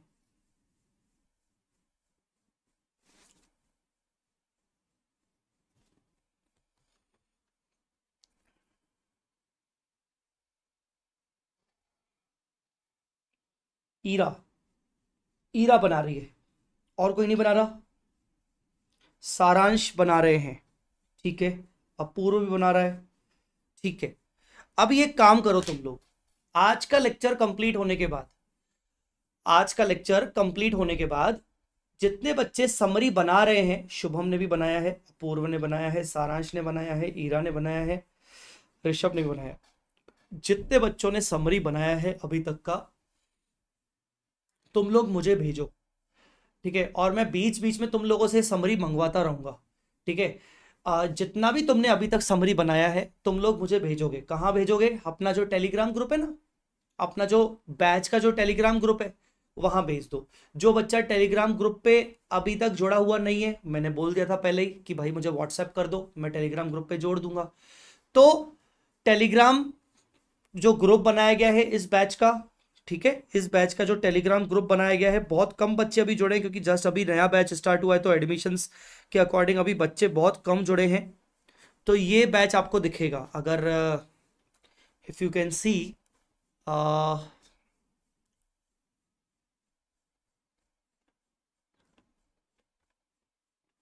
ये वाला बैच है। ये ये वाला बैच है। आपको मैं कैसे दिखाऊँ?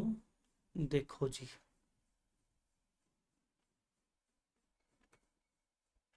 ये दिख रहा है? ये ये दिख रहा है? ये देखो, ये बैच का नाम है। F R E O batch.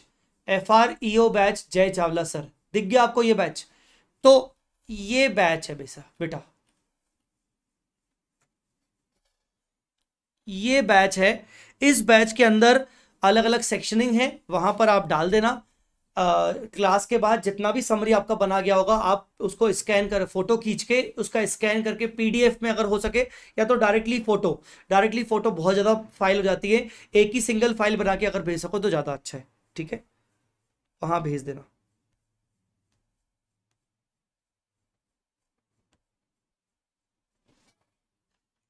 बीच बीच में क्या है कि मैं आपकी समरी देखता रहूँगा ना तो मैं आपको बताते रहूँगा कि हाँ इसमें क्या तुमने ऐड सही किया है, क्या गलत किया है, क्या लिखा है, क्या लिखा है। तो वो थोड़ा सा एक बना रहेगा। जो बच्चे ये लेक्चर ऑनलाइन डाउनलोड मोड पे देख रहे हैं, वो बच्चे बोलेंगे, सर, हमें अभी तो समरी आपकी दिखा, आपको दिखानी है। आप भेजो ना बिल्कुल टेलीग्राम ग्रुप पे भेजो, या फिर आप मुझे पर्सनली भेजो। बिल्कुल आप भेजिए, मैं डेफिनेटली आपकी समरी को चेक करूँगा और आपको कुछ फीडबैक देना होगा तो मैं आपको फीडबैक दूँगा। चलिए, अब हम शुरू कर रहे हैं एक नया टॉपिक इंडेस वन नया टॉपिक शुरू कर रहे हैं इंडेस वन देखिए मैं आपको ये दो टॉपिक करवा चुका हूँ रोड मैप टू इंडेस और शेड्यूल थ्री अब के जो बाकी के टॉपिक्स है मैं उस, उसके बारे में आपको बता देता हूँ देखो करना क्या है. फ्रेमवर्क करके एक चैप्टर है वो मैं आपको कुछ दिन बाद करवाऊँगा ठीक है? फ्रेमवर्क वाला चैप्टर मैं अभी आपको नहीं करवाऊँगा ये भी थियोरिटिकल चैप्टर है. अकाउंटिंग एंड टेक्नोलॉजी ये it is 99 percent related to EIS करके सब्जेक्ट हुआ करता था। इन ई आई एस का फुल फॉर्म क्या था? तुम्हारे इंटरमीडिएट में था ना? इंटर में सबसे लास्ट वाला paper E I S S M enterprise information system यही था ना शायद? ई आई एस उससे रिलेटेड है। तो ये जो चैप्टर है, ये दूसरी एक और फैकल्टी है वी स्मार्ट अकेडमी की C A Pawan Gahukar sir. जब ई आई एस करके सब्जेक्ट हुआ करता था हाँ इंटरप्राइज इंफॉर्मेशन सिस्टम तो वो ये जो चैप्टर है इन्होंने उनकी क्लासेस लेनी पड़ेंगी। उन्होंने वो क्लासेस ले ली हैं। रेगुलर कोर्स में हमने उनकी क्लासेस लग, लगवाई थी। सिर्फ़ दो ही लेक्चर हैं उसके। इस चैप्टर के दो ही लेक्चर हैं। अप्रोक्सीमेटली दो दो घंटे के। दो दो घंटे के दो ही चैप्टर हैं तो ये चैप्टर ये मैं आपको रिकॉर्डेड दूँगा। अकाउंटिंग एंड टेक्नोलॉजी का मैं आपको रिकॉर्डेड दूँगा बिकॉज़ इसको मैं पढ़ाऊं, उससे बेटर है कि कोई ऐसी फैकल्टी पढ़ाए जो फैकल्टी इस फ़ील्ड से रिलेटेड हो। तो मैं इसका आपको रिकॉर्डेड लेक्चर्स दे दूँगा।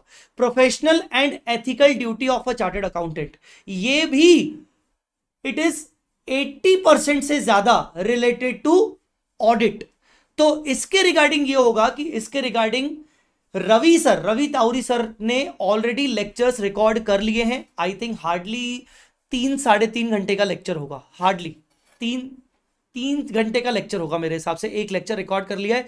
वो आपको पूरा देखना है और उसके बाद ज़रूरत पड़ी तो वापस से एक बार रिव्यू करने के पॉइंट ऑफ़ व्यू से मैं इसका एक एक घंटे का सेशन आपके साथ लाइव ले लूँगा। तो ये भी आपको रिकॉर्डेड मिलेगा। अकाउंटिंग टेक्नोलॉजी और professional ethical duty of chartered accountant हमारे पास ये दोनों चैप्टर्स रिकॉर्डेड मोड पर अवेलेबल हैं। बिल्कुल न्यू रिकॉर्डिंग है। आपको ये मिल जाएगा। ठीक है?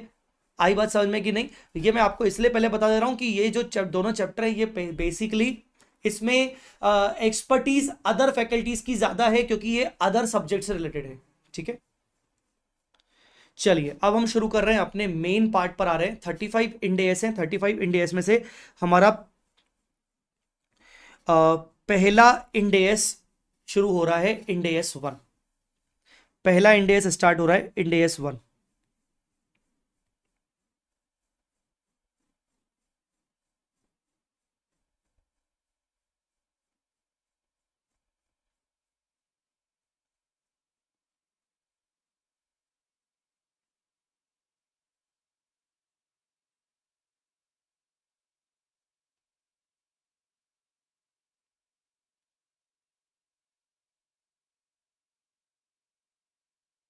इंडेस वन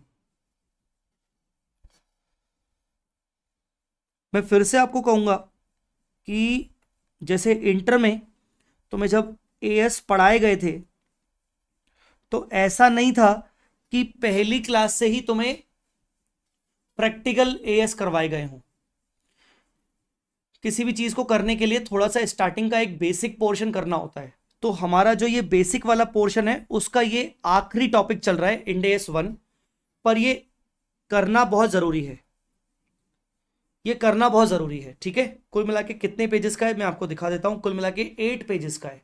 आठ पेजेस हैं कुल मिला के, ठीक है? आठ पेजेस हैं। ये एट पेजेस के अंदर अंदर हमें इसको निपटाना है। चलिए। Ind AS one presentation of financial statements. Index 1 presentation of financial statements.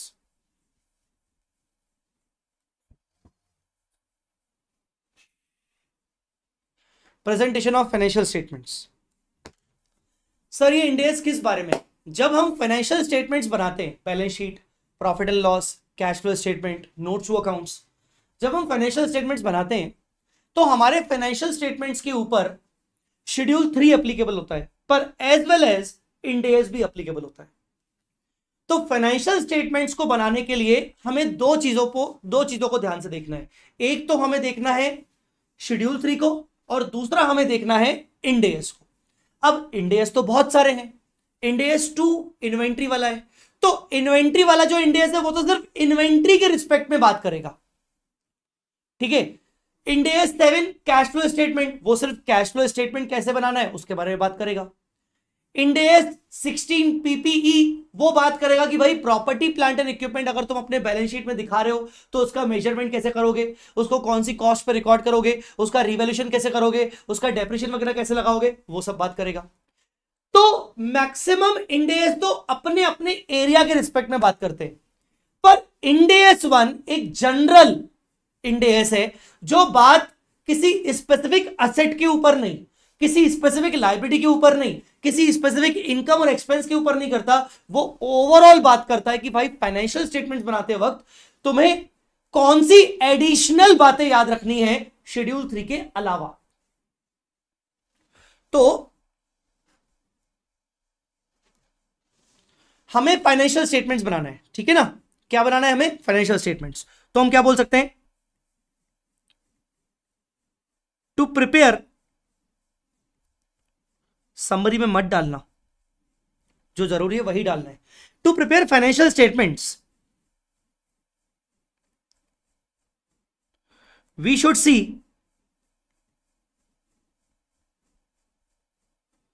the requirements of पहला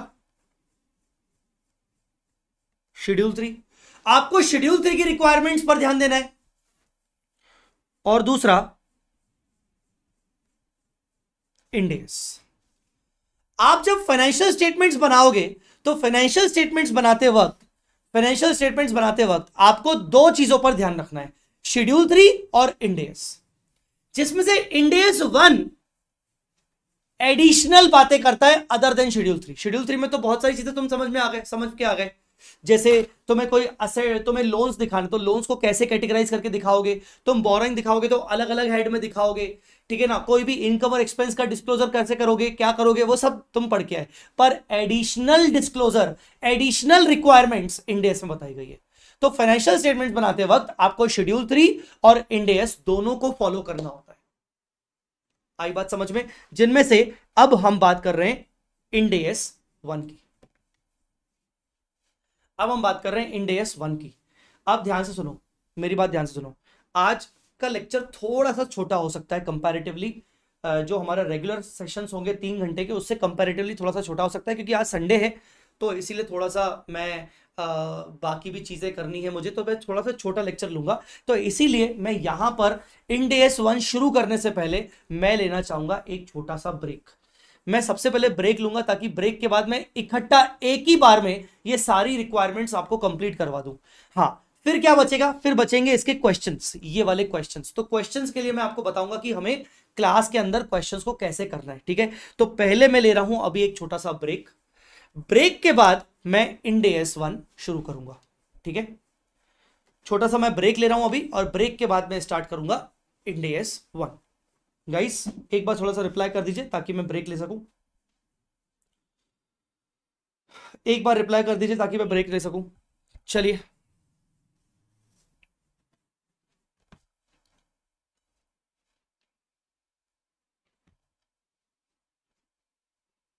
All right maximum hardly eight to ten minutes का break hardly eight to ten minutes का ब्रेक रहेगा, ठीक है? चलिए।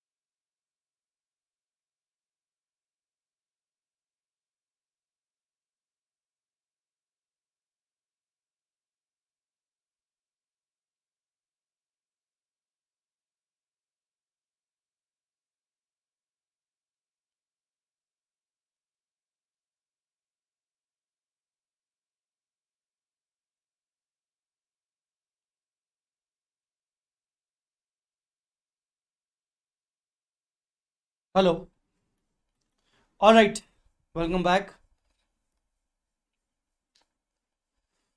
चलिए. इंडेस वन पहला Ind AS करेंगे अपन शुरू. हम किस तरीके से आगे बढ़ने वाले हैं, वो मैं आपको बता देता हूँ. इंडेस वन करने के बाद मैं पहले तो इंड एस वन आपके साथ करूँगा. उसके कंसेप्ट्स आज हम बात कर लेंगे। क्वेश्चंस शायद आज ज़्यादा डिस्कस ना कर पाए तो हम नेक्स्ट क्लास में डिस्कस करेंगे। ठीक है?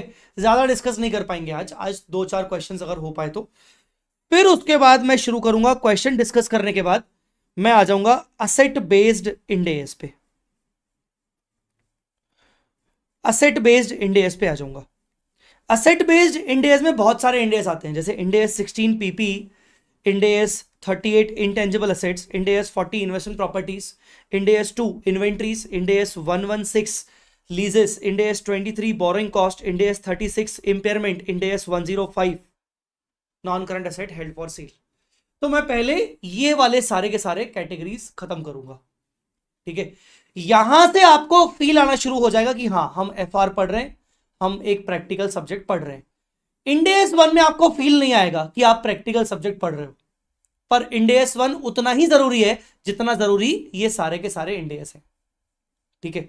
अब जैसा मैंने आपको बताया, जैसा मैंने आपको बताया कि फाइनेंशियल स्टेटमेंट्स बनाने के लिए हमें जितना शेड्यूल थ्री को ध्यान रखना है, उतना ही हमें इंडेस की रिक्वायरमेंट्स को भी ध्यान रखना है।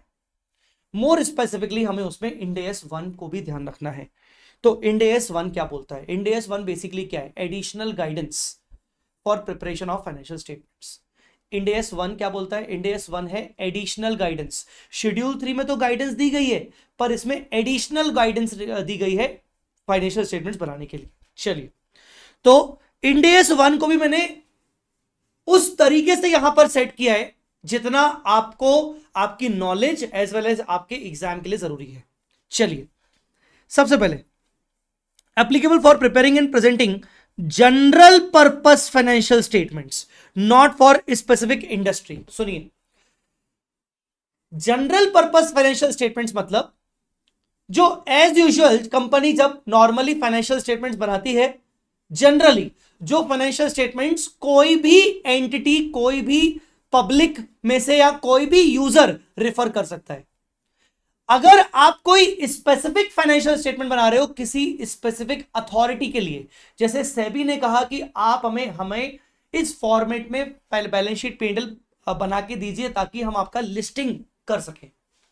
तो लिस्टिंग करने के लिए, अपने शेयर्स को लिस्टेड करने के लिए हमने उनको फाइनेंशियल स्टेटमेंट्स एक स्पेसिफिक फॉर्मेट में बना के दिए।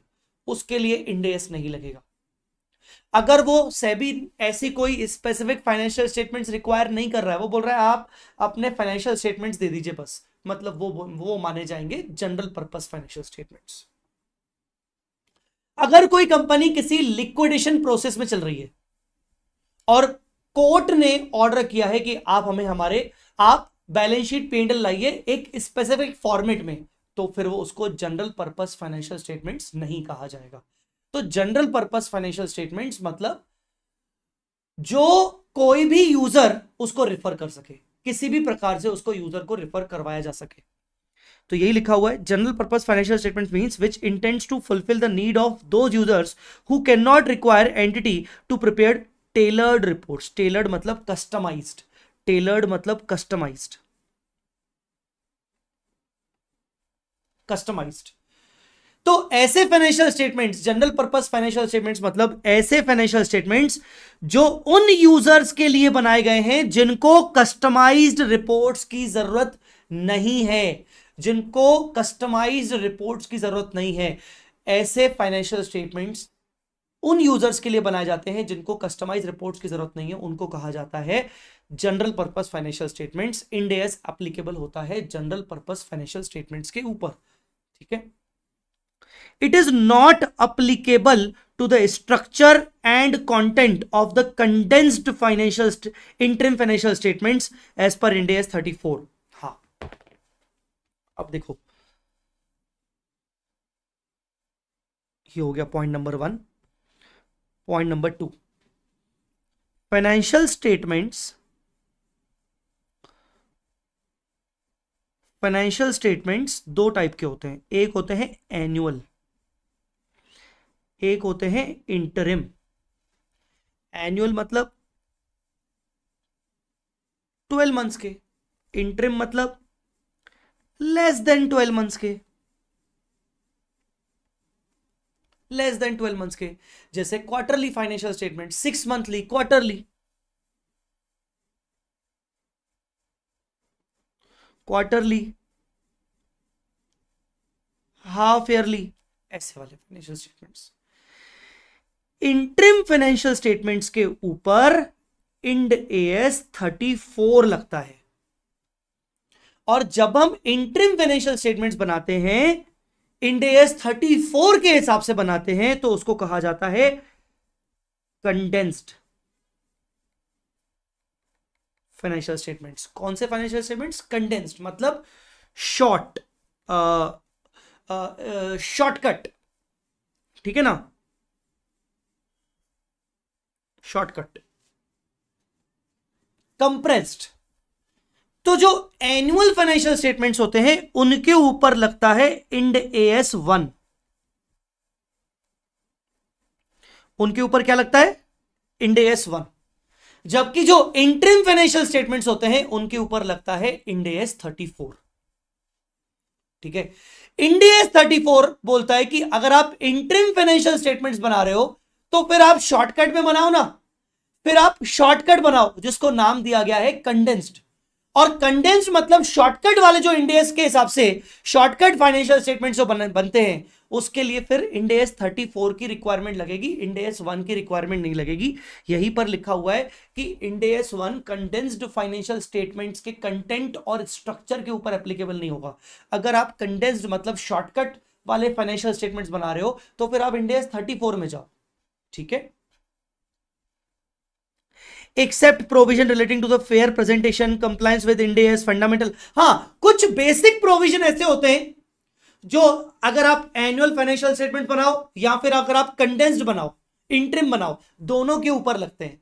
जैसे आपको फेयर प्रेजेंटेशन करना है, सारे इंडियस का कंप्लायंस करना है फंडामेंटल अकाउंटिंग एजम्पन्स को फॉलो करना है फंडामेंटल अकाउंटिंग एजम्पन्स मतलब गोइंग कंसर्न कंसिस्टेंसी अक्रूवल तो ये कुछ बेसिक कुछ बेसिक कॉमन आइटम्स ऐसे हैं कॉमन रिक्वायरमेंट्स ऐसे हैं, जो तुम्हारे एनुअल और इंट्रिम दोनों के ऊपर लगती है। फिर कोई दिक्कत नहीं, फिर इंडियस वन की वो कॉमन रिक्वायरमेंट्स फॉलो हो जाएँगी। पर as far as interim financial statements का कंटेंट कैसा होगा स्ट्रक्चर कैसा होगा, उसके ऊपर इंडेस 34 लगेगा इंडेस वन बात नहीं करेगा। ठीक है? आई मेरी बात समझ में? तो कंडेंस्ड फाइनेंशियल स्टेटमेंट्स के ऊपर इंडेस वन की रिक्वायरमेंट नहीं लगती। कंडेंस्ड मतलब शॉर्टकट मुझे बताओ, यहाँ तक सबको समझ में आएगी नहीं? ये तीन पॉइंट सबको समझ में आएगी नहीं? Ind AS one general purpose financial statements के ऊपर एप्लीकेबल होता है not for any specific purpose general purpose financial statements मतलब ऐसे financial statements which which are required by those users who doesn't required any customized reports.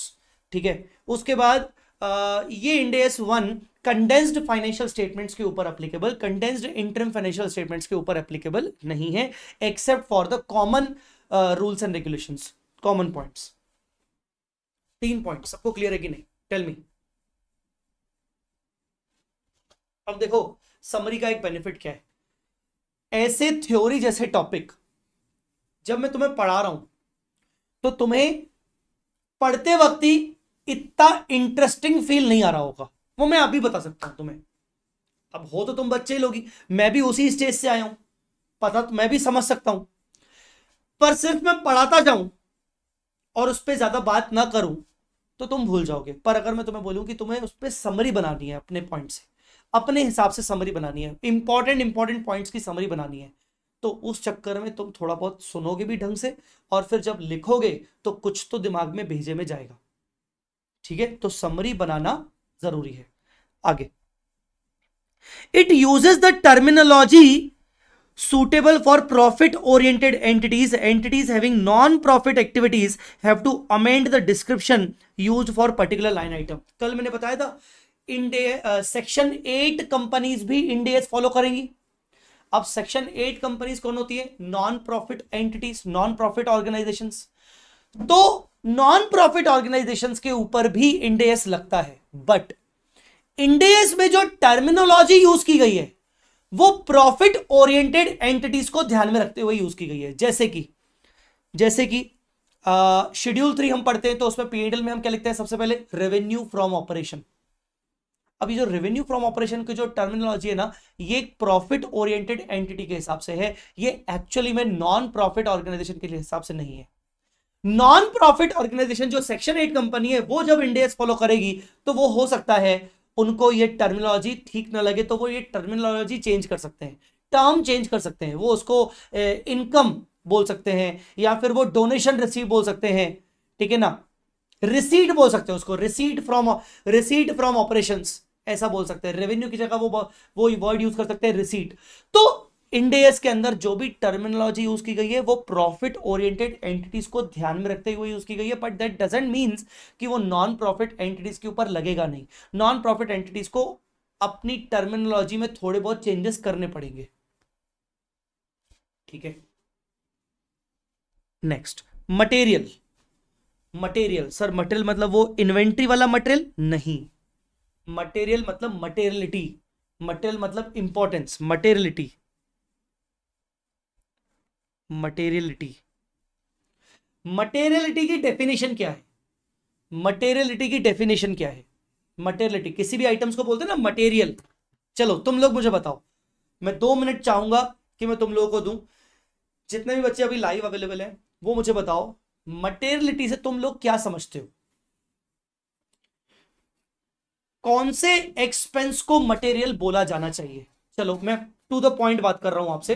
थोड़ा सा specifically ताकि तुम आंसर थोड़ा सा जल्दी दे सको।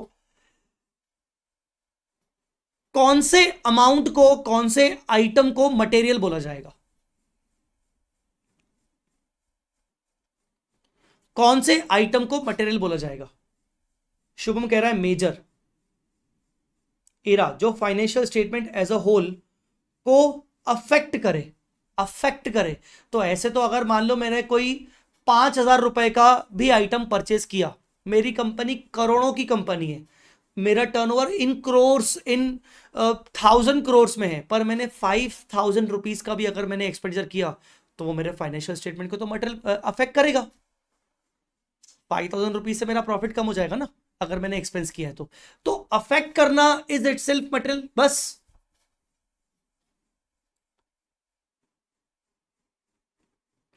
ये डिपेंड करता है कंपनी के ऊपर, ऋषभ कह रहे हैं। Which effect significantly in financial statement Sumit ने भी वही आंसर दिया जो ईरा ने दिया। Which have major impact on financial statement and whose effect economic decision of user जो इकोनॉमिक जो यूज़र के डिसीज़न को अफेक्ट करे यस. ऐसा आइटम जो फाइनेंशियल स्टेटमेंट को अफेक्ट करे? नहीं. गलत. ऐसा आइटम जो अगर हमने अलग से डिस्क्लोज नहीं किया, भाई ये मटेरियल है, मुझे पता है कि मैंने एक एक्स एक्सपेंडिचर इनकर किया है, वो अगर मैंने अलग से दिखाया या अलग से नहीं दिखाया, दोनों केसेस में यूज़र का डिसीज़न बदल जाएगा। अगर मैंने ये पर्टिकुलर आइटम परचेस किया है, और मैं मानता हूँ कि ये मटेरियल है, मुझे इसका सेपरेट डिस्क्लोजर करना चाहिए तो इससे यूज़र का डिसीज़न अफेक्ट होगा। और अगर मैंने इसको सेपरेटली डिस्क्लोज नहीं किया हाइड कर दिया तो भी यूज़र का डिसीज़न अफेक्ट होगा। मतलब ऐसा आइटम जिससे यूज़र के डिसीज़न पर अफेक्ट हो सकता है, उसको बोलते हैं मटेरियल अब उसी तरीके से इन्होंने मटेरियल को कैसे डिफाइन किया है? आइए। इन्होंने मटेरियल को कैसे डिफाइन किया गया information is material if omitting किसी भी इंफॉर्मेशन को मटेरियल कब बोला जाएगा? जब उसको ओमिट करने से ओमिट मतलब भूल गए उसको डिस्क्लोज करना, या उसको मिस स्टेट करने से मिस स्टेट मतलब जान बूझ के उसको छुपाया है, या उसको गलत तरीके से प्रेजेंट किया है, या उसको ऑब्सक्योर करने से ऑब्सक्योर क्या होता है सर? सर, ये ऑब्सक्योर क्या होता है? चलो पहले ऑब्सक्योर पढ़ते हैं। Information is obscured if it is communicated in a way that would have a similar effect for the primary users of financial statements to omitting or misstating that information obscure मतलब information मैंने तुम्हें बताई तो है पर वो it is as good as misstatement है मैं शो तो कर रहा हूँ मैं प्रेजेंट तो कर रहा हूँ पर एक तरीके से वो मिस स्टेटमेंट के जैसा है। वो एक तरीके से ओमिटिंग के जैसा है। आई मेरी बात समझ में कि नहीं? That is called obscure that is called obscure obscure में क्या क्या बोला गया है? ऑब्सक्योर के कुछ एग्जाम्पल्स हैं। ऑब्सक्योर के कुछ एग्जाम्पल्स हैं। जैसे जैसे information regarding a material item transaction other event is disclose in financial statement but the language use is vague और अनक्लियर। जानबूझ के मैंने ऐसी लैंग्वेज यूज़ किया है ताकि किसी भी यूज़र को कुछ खास ज़्यादा समझ में ही ना आए या उनको लगे कि अरे, ये फालतू चीज़ें छोड़ दो, इसको हटाओ स्किप करो। कौन पढ़ेगा बैठ के इतना? हाँ ठीक है, क्या ही होगा इसके बारे में? छोड़ो, हटाओ। आई मेरी बात समझ में कि नहीं? तो इस तरीके से मैंने मैंने इंफॉर्मेशन दिखा तो दी, पर मैंने मैंने उस इंटेंशन से दिखाई कि लोग उसको इग्नोर कर दें या उसको अवॉइड कर दें। इंफॉर्मेशन मैंने दिखाई है but the language use is vague और अनक्लियर या फिर information regarding material item transaction other events is scattered throughout the financial statements information को मैंने दिखाया है, पर थोड़ा सा इंफॉर्मेशन का कुछ हिस्सा मैंने कहीं दिखाया है, कुछ हिस्सा मैंने कहीं और दिखाया है, कुछ हिस्सा मैंने कहीं और दिखाया है। इंफॉर्मेशन को मैंने फैला दिया अलग अलग जगह फैला दिया, ताकि उसकी इंपॉर्टेंस गिर जाए। इसको बोलते हैं ऑब्सक्योर ऑब्सक्योर के ये एग्जाम्पल्स हैं। लैंग्वेज वेग लैंग्वेज यूज़ करना। अनक्लियर अनक्लियर लैंग्वेज को यूज़ करना फाइनेंशियल स्टेटमेंट्स में दूसरा इंफॉर्मेशन को स्कैटर कर दिया। फैला दिया थोड़ा थोड़ा हर जगह दिखा दिया, ताकि लोगों का ध्यान न जाए। Dissimilar items dissimilar items transaction events are inappropriately aggregated दो आइटम्स को जिनका आपस में लेना देना ही नहीं है, दोनों को ऐड करके दिखा दिया।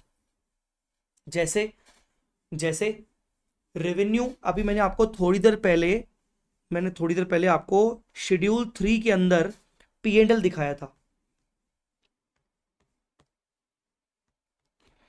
और उसमें मैंने क्या दिखाया था? उसमें मैंने क्या दिखाया था आपको? कि प्रॉफिट एंड लॉस स्टेटमेंट में आपको सेल ऑफ़ प्रोडक्ट अलग दिखाना होता है सेल ऑफ़ सर्विस अलग दिखाना होता है। ठीक है? और ये दोनों आपको अलग अलग दिखाना है। मैंने क्या किया? मैंने दोनों को मर्ज करके दिखा दिया। ये दोनों डिसिमिलर आइटम्स हैं। डिसिमिलर आइटम्स मैंने दोनों को मर्ज कर दिया। पता है क्यों? क्योंकि ना, इस बार मेरा सेल ऑफ़ सर्विस से ज़्यादा रेवेन्यू नहीं हुआ है। मेरा जो भी रेवेन्यू हुआ है, वो प्रोडक्ट से हुआ है। पर मैं अलग अलग दिखाऊँगा तो लोग पकड़ लेंगे।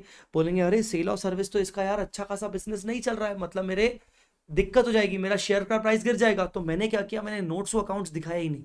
मैंने सीधा सीधा दिखा दिया sale from products and services सीधा सीधा इकट्ठा करके दिखा दिया।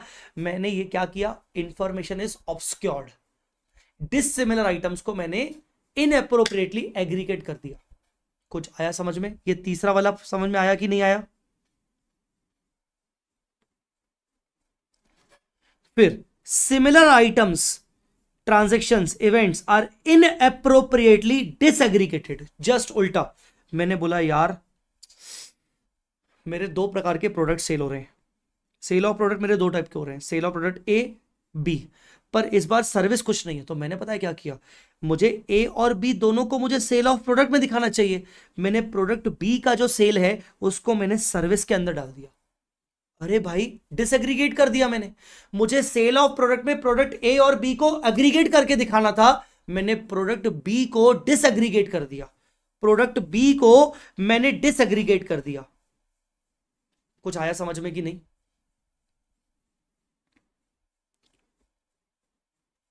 प्रोडक्ट बी को मैंने डिसएग्रीगेट कर दिया। इन अप्रोप्रिएटली डिसएग्रीगेटेड कुछ आया समझ में यहाँ तक? दूसरा। The understandability of the financial statement is reduced as a result of material information being hidden by the immaterial information to the extent that a primary user is unable to determine what information is material मैंने इतना ज़्यादा details डाल दी इतनी ज़्यादा details डाल दी कि क्या material है क्या इमटेरियल है यूज़र उलझ गया। क्या पढ़ना है, क्या नहीं पढ़ना है? उसने बोला, छोड़ो, भाड़ में जाए। हाँ सब सही होगा प्रॉफिट तो दिख रहा है ना। चलो आगे बढ़ो। मैंने फाइनेंशियल स्टेटमेंट्स की अंडरस्टैंडेबिलिटी को रिड्यूस कर दिया इस तरीके से कि मटेरियल इंफॉर्मेशन को मैंने हाइड कर दिया। अब समझ ही नहीं आ रहा है कि मटेरियल क्या है इम मटेरियल क्या है। Material information is hidden by immaterial information ठीक है? तो इसको बोलते हैं ऑब्सक्योर करना। इंफॉर्मेशन इज़ ऑब्सक्योर तो चलो, इसको थोड़ा सा लिखते हैं। इसको लिखते हैं एक बार।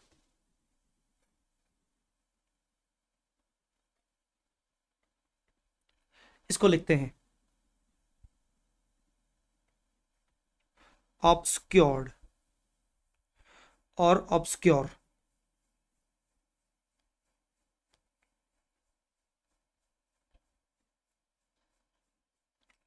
information in financial statement is treated as obscured if language used in financial statement is unclear or vague अगर लैंग्वेज जो आपने यूज़ किया है वो अनक्लियर है, जो भी इंफॉर्मेशन है फाइनेंशियल स्टेटमेंट्स की, उसको ऑब्सक्योर बोला जाएगा, जो अगर आपने जो इंफॉर्मेशन की लैंग्वेज यूज़ की है वो अनक्लियर है वेग है, ठीक है? दूसरा, और क्या था? Scattered if information is scattered scattered throughout the financial statements. पूरे फाइनेंशियल स्टेटमेंट्स में इंफॉर्मेशन को स्कैटर कर दिया गया है। पूरे फाइनेंशियल स्टेटमेंट में इंफॉर्मेशन को थोड़ा थोड़ा करके पार्ट्स पार्ट्स में अलग अलग जगह दिखाया है। स्कैटर्ड मतलब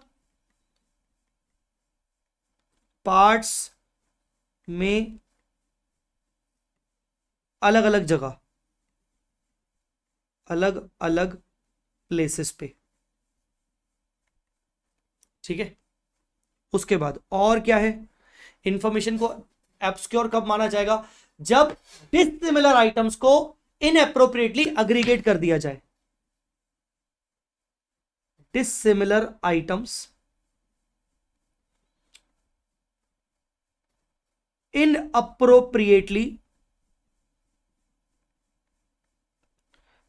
एग्रीगेटेड या फिर सिमिलर आइटम्स को सिमिलर आइटम्स को अग्रीगेट करना चाहिए। सिमिलर आइटम्स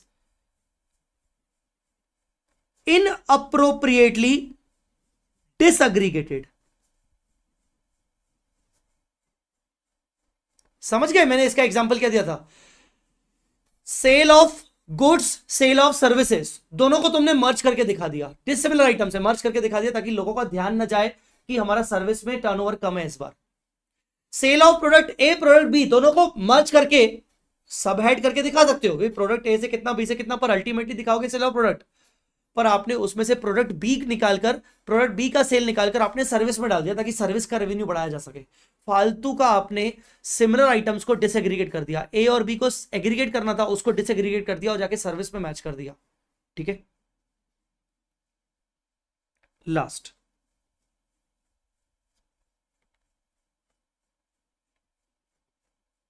लास्ट लास्ट क्या था? डिससिमिलर को एग्रीगेट कर दिया, सिमिलर को डिसएग्रीगेट कर दिया। लास्ट क्या है? इंफॉर्मेशन अंडरस्टैंडेबिलिटी को रिड्यूस कर दिया जा रहा है by disclosing immaterial information to hide the material information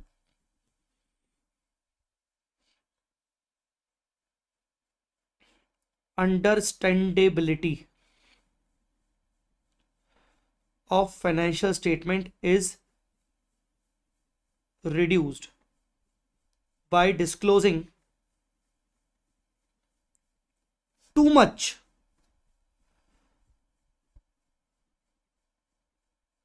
immaterial information to hide material information तुमने इतनी सारी इमटेरियल इंफॉर्मेशन दिखा दी ताकि मटेरियल इंफॉर्मेशन को हाइड कर सको, जिससे कोई समझ ही नहीं पाएगा फाइनेंशियल स्टेटमेंट्स कहना क्या चाह रहे हैं। इसको कहते हैं ऑब्सक्योर हम ये वर्ड्स अभी अभी ये क्या करना है? सर, ये जाएगा तुम्हारे समरी में। ये जाएगा तुम्हारे समरी में, ठीक है? लिख लिया, आगे बढ़ू। हम सर क्या पढ़ रहे थे? हम पढ़ रहे थे हम पढ़ रहे थे मटेरियलिटी की डेफिनेशन तो मटेरियलिटी में हमने पढ़ा कि किसी भी इंफॉर्मेशन को मटेरियल कब बोला जाएगा? जब उसके ओमिट होने से मिसस्टेट करने से, या ऑब्सक्योर करने से।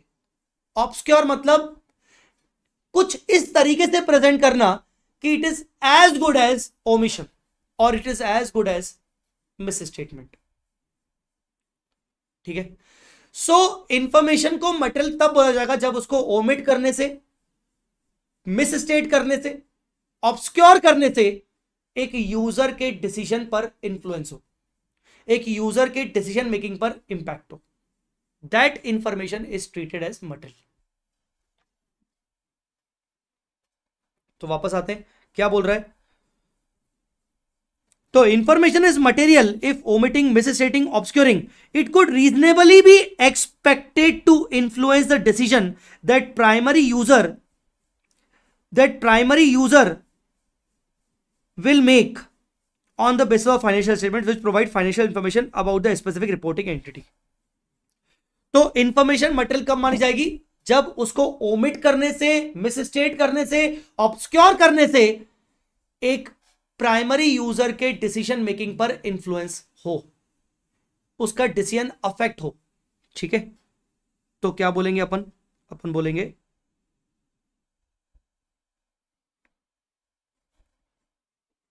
इसको शॉर्ट में अगर लिखना है information is material if its omission misstatement. Omission misstatement. Or obscuring. Will affect.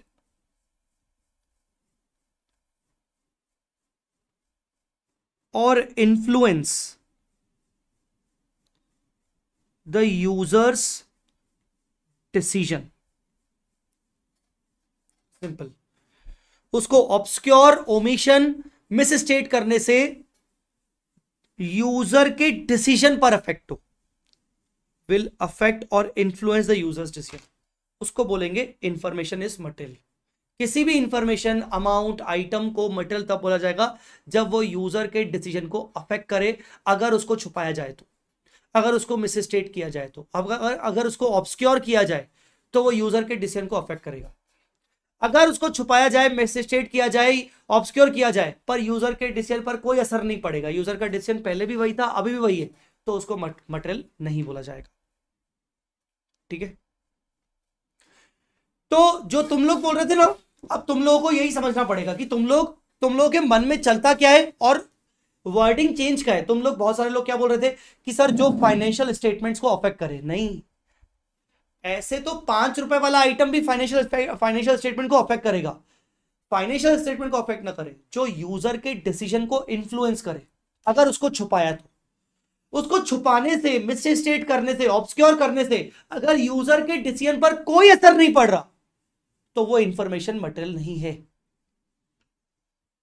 समझ गए? चलो। समरी वाले पॉइंट थे ये।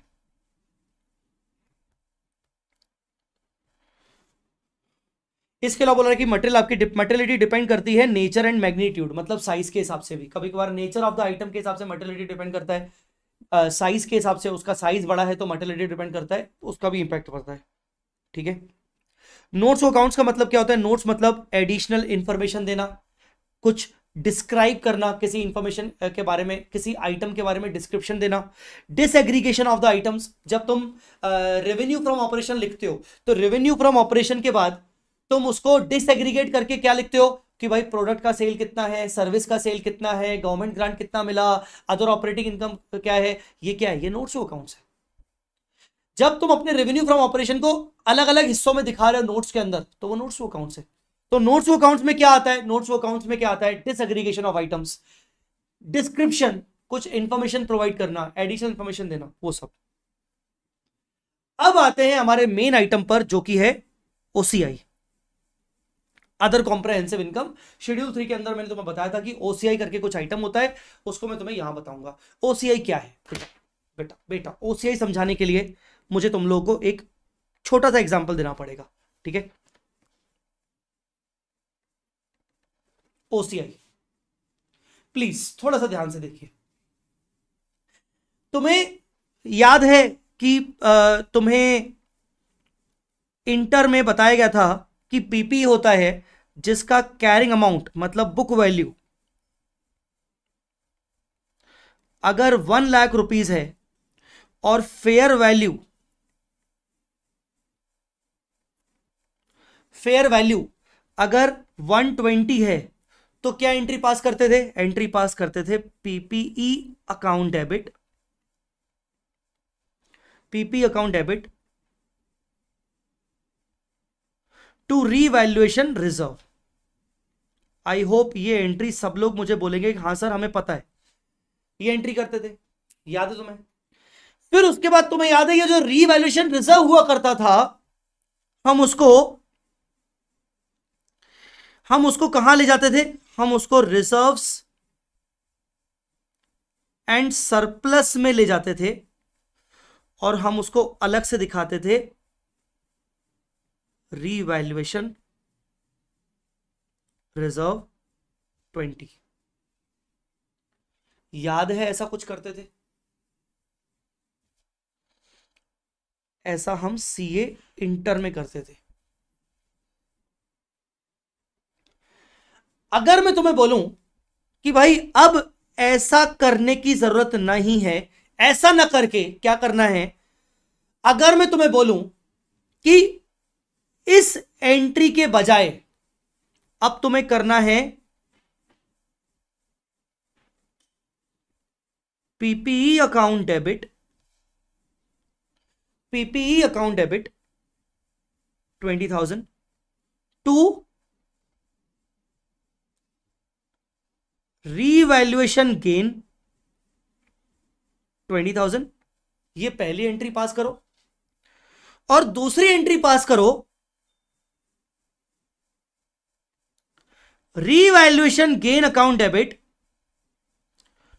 to O C I जैसे सैलरी को तुम पीएनएल में डालते हो सेल्स को तुम पीएनएल में डालते हो परचेज को पीएनएल में डालते हो पीएनएल का ही एक नया, एक और भाई आ गया, भाई। उसका नाम है ओसीआई ये भी तो एक इनकम ही है ना। पर पॉइंट ये है कि हमें इंडेस मना करता है कि तुम इसको पीएनडल में नहीं लेके जाओगे। It is not allowed to be directly transfer to P and L पता है ना? तो ऐसी इनकम्स और ऐसे expenses which are not allowed to be transfer to P and L they will be transfer to the separate statement known as OCI other comprehensive income sir फिर क्या होगा? पहले मैंने रिवोल्यूशन गेन बुक किया। मुझे इसको पीएनएल में नहीं लेके जाना है तो मैं उसको सेपरेटली लेके जाऊँगा ओसीआई में। सो so, मैंने क्या बोला? Those incomes expenses which are not allowed by any Ind to be transferred directly to preamble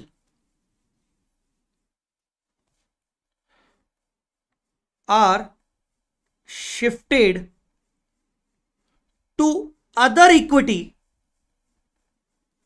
are shifted to other equity through OCI shifted to other equity through OCI sir, एक second एक second, sir, धीरे धीरे, sir sir, रुक जाओ। Sir, ये other equity क्या होता है? अदर इक्विटी का मतलब होता है reserve and surplus reserve and surplus कुछ नहीं है बेटा। सीए इंटर में जहाँ तुम ये वाली एंट्री को directly other reserve and surplus में लेके जाते थे। अब वो बोल रहा है कि नहीं डायरेक्टली मत लेके जाओ।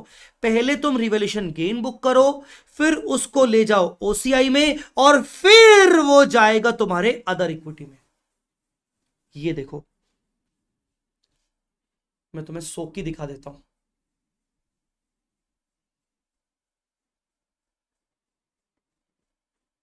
ये देखो।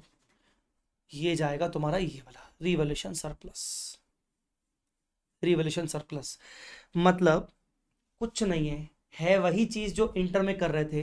पर इंटर में क्या कर रहे थे? जो आइटम्स मैं पीएनएल में नहीं डाल रहा हूँ, उनको मैं डायरेक्टली रिज़र्व एंड सरप्लस में लेके जा रहा हूँ। अब बस उसको डायरेक्टली ना लेके ओसीआई के थ्रू पहले ओसीआई में डालो, फिर उसको रिज़र्व एंड सरप्लस में लेके जाओ। और रिज़र्व एंड सरप्लस को बोल दिया गया equity that is called OCI other comprehensive incomes so ऐसे आइटम्स ऐसी इनकम्स जिसको आप पीएनडल में नहीं लेके जा सकते हो बिकॉज़ ऑफ़ द इंडेस आप उसको डायरेक्टली अदर इक्विटी में शिफ्ट ना करके ओसीआई के थ्रू शिफ्ट करो।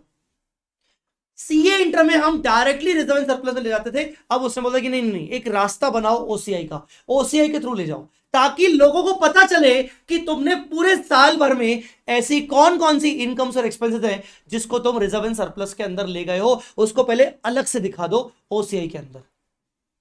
सर डायरेक्टली ले जाओ या ओसीआई के थ्रू दिखाओ, बात तो एक ही ना हाँ एक ही बात है मतलब ये समझो कि ओसीआई एक एडिशनल डिस्क्लोजर है। ओसीआई एक प्रकार का एक डिस्क्लोजर है, जिसके अंदर मैं ये बताना चाहता हूँ कि पूरे साल भर में ऐसे कौन कौन से इनकम और एक्सपेंसेस हैं, जिनको मैं पी पीएनडल में बुक नहीं कर रहा हूँ, जिनको मैंने डायरेक्टली अदर इक्विटी में डाला है। बस अदर इक्विटी में डाला है तो वो कौन कौन से आइटम्स है, वो मैं ओसीआई के थ्रू मालूम पड़ जाएँगे। ठीक है? इसीलिए अगर तुम शेड्यूल थ्री देखोगे तो आप शेड्यूल थ्री के पीएनएल को देखो ध्यान से। देखो, तुमने जो आइटम्स को पीएनएल में डाल दिया, वो तो ऊपर आ गए। जो आइटम्स तुम्हें अलाउड नहीं है पीएनएल में डालना, उनको तुम पहले इस स्टेटमेंट में दिखाओगे। ये स्टेटमेंट को भी हम दो हिस्सों में बनाते हैं। Items that will not be reclassified to PnL items that will be reclassified to PnL मतलब ये कि फ़िलहाल मैं उनको पीएनएल में नहीं डाल रहा हूँ, फ़िलहाल मैं उनको अलग दिखा रहा हूँ, आगे चल के जब वो रियलाइज़ हो जाएँगे तो मैं उनको पीएनएल में शिफ्ट कर दूँगा। That is called items that will be reclassified to PNL दूसरा items that will not be reclassified to PNL मतलब मैं उनको कभी भी पीएनएल में शिफ्ट नहीं करूँगा। मुझे नहीं पता कि तुम लोगों को इंटर का कितना याद है कि नहीं, पर ए एस टेन करके जो पीपी का ए एस टेन हुआ करता था इंटर में, उसमें तुम्हें यह पढ़ाया गया था एक्चुअली में कि रिवोल्यूशन लॉस होगा तो पीएनडल में जाएगा रिवोल्यूशन गेन होगा तो रिवोल्यूशन रिज़र्व में जाएगा और रिवोल्यूशन रिज़र्व को फाइनली आप जनरल रिज़र्व में लेके जाओगे, अगर आपकी पीपीई खत्म हो जाएगी। रिवोल्यूशन रिज़र्व को आप डायरेक्टली जनरल रिज़र्व में रिटेन अर्निंग में बुक करोगे, जब आपकी पीपीई खत्म हो जाएगी, आप रिवोल्यूशन रिज़र्व को पीएनडल के थ्रू बुक नहीं कर सकते। आप रिज़र्व रिजोल्यूशन रिज़र्व को वापस से पीएनडल में नहीं लेके आ सकते। तो वो कौन सा आइटम हो गया? विल नॉट बी रिक्लासिफाइड उसको बोलते हैं एनआरपीएल एनआरपीएल एनआरपीएल मतलब not reclassified to P and L और ये क्या बोलते हैं? आरपीएल रिक्लासिफाइड टू पीएनडल ठीक है? सो so, कुछ ऐसे आइटम देखो दोनों में समानता क्या है? दोनों में सिमिलरिटी क्या है? दोनों के दोनों पीएनडल में डायरेक्टली नहीं जा सकते, फ़िलहाल। उनको मुझे भेजना है डायरेक्टली कहा? अदर इक्विटी अदर इक्विटी में भेजना है मतलब मुझे उनको सोकी की वर्किंग में दिखाना है। कहाँ दिखाना है? सोकी के अंदर दिखाना है। पर मैं उनको डायरेक्टली ना ले जाके, मैं पहले एक एंट्री पास कर रहा हूँ। Revaluation gain account debit to OCI और फिर जो भी ओसीआई का बैलेंस आया एक्यूमुलेटेड बैलेंस आया, उसको मैं ले जाऊँगा अदर इक्विटी में। बोलो बेटा क्लियर हुआ कि नहीं?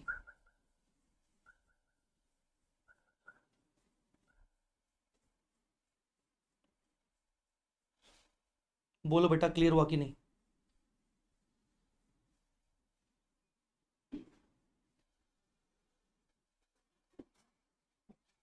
सर पीएनएल में क्लासिफाई करने के लिए एंट्री पास करनी पड़ेगी? हाँ हाँ हाँ बिल्कुल।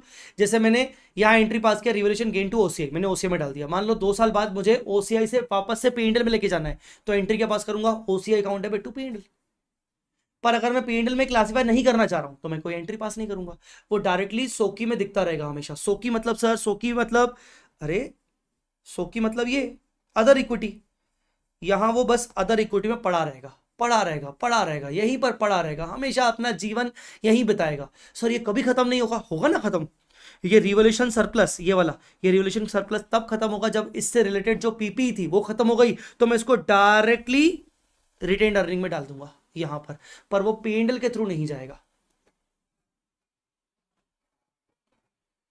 समझ गए ओसीआई के बारे में? तो ओसीआई क्या है? ऐसे इनकम्स और एक्सपेंसेस जो कि किसी भी इंडेस के द्वारा डायरेक्टली पीएनएल में ट्रांसफ़र करने के लिए अलाउड नहीं है। आप उनको अदर इक्विटी में शिफ्ट करना चाहते हो पर आप उनको आप उनको ओसीआई के थ्रू एक सेपरेट स्टेटमेंट बना के शिफ्ट करना चाहते हो that is called OCI other comprehensive incomes ठीक है? क्या बोला है? Items which are not recognise in statement of profit and loss as per any other Ind AS अब उसके अंदर कौन कौन से आइटम्स आते हैं? बेटा, बहुत सारे आइटम्स आते हैं उसके अंदर। Revaluation reserve remeasurement of defined benefit plan actual gain और losses F C T R on the conversion of foreign operation ये आपने ए एस इलेवन आपको याद होगा ए एस इलेवन अगर कुछ बच्चों को ए एस इलेवन याद आ रहा हो तो उसमें आपको सिखाया गया था integral branch non integral branch non integral branch में जो भी एक्सचेंज डिफरेंस आएगा, वो एफ़ सी टी आर में जाएगा। फिर जब आपकी नॉन इंटीग्रल ब्रांच खत्म हो जाएगी तो एफ़ सी टी आर को पी एंडल में डाल सकते हो। तो ये जो है ना आपका एफ़ सी टी आर ये reclassified to P and L वाला आइटम है। ठीक है? सर इतना तो याद नहीं आ रहा है सर। सच बताए सर हम आपसे क्यों झूठ बोले? सर इतना याद नहीं आ रहा है। कोई बात नहीं इतना याद नहीं आ रहा है। तो अब आगे चल के समझ में आ जाएगा क्या दिक्कत है? याद आ रहा है मतलब मैंने बोला ना याद आ रहा है कि नहीं आ रहा है तो इसका मतलब इतना दिमाग पे ज़ोर नहीं देने का हाँ? इतना दिमाग में ज़िंदगी में क्या टेंशन खत्म है कम है क्या जो इतना या, याद आएगा? छोड़ो रे पढ़ में जाए नहीं याद आ रहा तो नहीं याद आ रहा जब हम पढ़ेंगे तो वापस याद आ जाएगा। ठीक है? अरे नहीं आ रहा याद, सर नहीं आ रहा है, छोड़ो छोड़ो छोड़ो, नहीं आ रहा है। मैं नहीं पूछूँगा आज के बाद की याद आ रहा है कि नहीं। कुल मिला के ऐसा है कि कुछ आइटम्स को हमें पीएनडल में नहीं लेके जाना है, हमें उनको डायरेक्टली रिज़र्व एंड सरप्लस में लेके जाना है। रिज़र्व एंड सरप्लस मतलब अदर इक्विटी तो उनके लिए हमने एक रास्ता बनाया, जैसे, अरे यार, जैसे, सुनो सुनो, और इसको और आसान कर देता हूँ। मुझे बताओ, तुम sales purchase salary sale purchase salary और कोई भी और एक्सपेंस एडवर्टीजमेंट एडवर्टीजमेंट एक्सपेंस मैं अगर तुम्हें बोलूँ कि बेटा, ये भी तो कहीं ना कहीं डायरेक्टली अदर इक्विटी में जाते हैं। तुम बोलोगे, सर, क्या बात कर रहे हो? मैं बोल रहा हूँ, मैं बस बिल्कुल सही बोल रहा हूँ। ये डायरेक्टली ये ये अदर इक्विटी में जाते हैं बेटा। पहले तुम क्या करते हो? पहले पहले तुम इन सबको पीएनडल में भेजते हो। पीएनडल से तुम्हें मिलता है नेट प्रॉफिट और नेट प्रॉफिट को तुम ले जाते हो अदर इक्विटी में। याद है तुम्हें नालायक? अब तो समझ में आ रहा है कि नहीं? वैसे ही वैसे ही revaluation gain foreign currency translation reserve मान लो ये लॉस फॉर्म में हुआ। ये हुआ revaluation gain fifty thousand rupees का। फॉरेन करेंसी ट्रांसलेशन रिज़र्व का लॉस हुआ थर्टी थाउज़ेंड का। मैं बोल रहा हूँ, इसको भी इसको भी एक तरीके से तुम ओसीआई में डालो। तो दोनों को ओसीआई में डालोगे तो नेट नेट कितना आ गया? ट्वेंटी थाउज़ेंड और फिर तुम उसको अदर इक्विटी में लेके जाओ। और अदर इक्विटी में भी तुम रीवैल्यूएशन रिज़र्व अलग से दिखाओ पचास हज़ार। और एक्सचेंज डिफरेंस अलग से दिखाओ थर्टी थाउज़ेंड ऐसा। बस ये बात है कि लोगों को पता चलना चाहिए कि ड्यूरिंग द ईयर तुमने इकट्ठा एक समरी दिखनी चाहिए लोगों को कि तुमने ओवरऑल कौन कौन से आइटम्स को डायरेक्टली इक्विटी में ले गए। उसके लिए हम एक लिस्ट बना रहे हैं। तो एक लिस्ट आउट करना इज़ ओसीआई अब तो समझ में आ गया होगा बाबा जी अब तो समझ में आ गया होगा। बोलो। तो क्या मैं इन सबको डायरेक्टली यहाँ ले जाऊँगा? नहीं, पर इनडायरेक्टली ये नेट प्रॉफिट के रूप में चले गए। वैसे ही इन सबको भी मैं अदर इक्विटी में ले जाऊँगा ओसीआई के थ्रू ओसीआई एक लिस्ट है, जिसमें समझ में आ जाएगा कि साल भर में ऐसे कौन से आइटम्स है जो पीएनएल में नहीं गए। अब तो बोलो क्लियर हुआ कि नहीं? Saransh okay. Apoorva, okay. Ira yes sir Rishabh yes sir बस। बाकी लोगों को नहीं आया? बाकी लोगों को नहीं आया? ईरा वेरी क्लियर हाँ उससे तो वेरी क्लियर अब होना ही चाहिए बेटा। इसके बाद तो अगर क्लियर नहीं हुआ तो फिर कहीं ना कहीं मेरे में दिक्कत है या तो तुम्हारे में दिक्कत है। या तो अगर इसके बाद नहीं समझ में आया। तो या तो मुझमें दिक्कत है या तो तुम्हारे में तुम तुम में दिक्कत है। हाँ कुछ क्लैरिफिकेशन अगर चाहिए, इतना समझ में आने के बाद भी अगर कुछ डाउट्स है तो एक अलग बात है। डाउट्स होना लाजमी है रे। डाउट्स होना लाजमी है। विश्वेश, समझ में आ गया। चलो, मैक्सिमम बच्चों को समझ में आ गया। एक्चुअली लाइट जा चुकी, आपको शायद रियलाइज़ हुआ होगा, थोड़ा सा लाइट ब्लिंक हुई थी। बट अभी है मेरे पास एक सफिशियंट बैकअप एटलीस्ट मेरे पास आधे घंटे का बैकअप तो है। सो so, लाइट जा चुकी है। I have the backup of twenty five minutes to thirty minutes फिर देखते हैं क्या रहेगा। चलो। तो सर ये होते हैं ओसीआई के आइटम्स अब ओसीआई के अंदर कौन कौन से आइटम्स आते हैं? अभी इस पे अपन ज़्यादा बात नहीं करेंगे। ऐसे तो शेड्यूल थ्री के अंदर भी। ये देखो। शेड्यूल थ्री कहाँ गया? शेड्यूल थ्री में मैंने तुम्हें बताया था। और कहाँ बताया था मैंने तुम्हें? और भी बातचीत हुई थी ना अपनी? और किसके अंदर बातचीत हुई थी?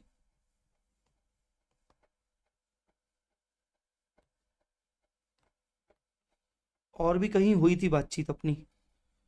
वेट वेट वेट वेट चलो ठीक है एनीवेज तो ये हो गए अपने ओसीआई ओसीआई में कौन कौन से आइटम आते हैं? आप देखोगे इंडेस सिक्सटीन थर्टी एट बोल रहा है इंडेस नाइनटीन बोल रहा है ट्वेंटी वन बोल रहा है one zero nine one zero nine तब जब मैं आपको रिस्पेक्टिव इंडेस करवाऊँगा, तब आपको इनका ट्रीटमेंट समझ में आएगा। चलो next reclassification adjustment, amount reclassified to profit and loss in the current period that were recognized in OCI in the current or previous period भाई रिक्लासिफाइड एडजस्टमेंट का मतलब क्या होता है? रिक्लासिफाइड रिक्लासिफिकेशन एडजस्टमेंट का मतलब होता है ऐसे आइटम्स जो ओसीआई से रिक्लासिफाई होकर पीएनएल में ले, जा रहे हैं। तो अगर कहीं लिखा है कि इट इज़ री it is a reclassification adjustment तो रिक्लासिफिकेशन एडजस्टमेंट का मतलब हुआ कि जिसको तुम आगे चल के ओसीआई से निकालकर पीएनएल में लेके जाओगे।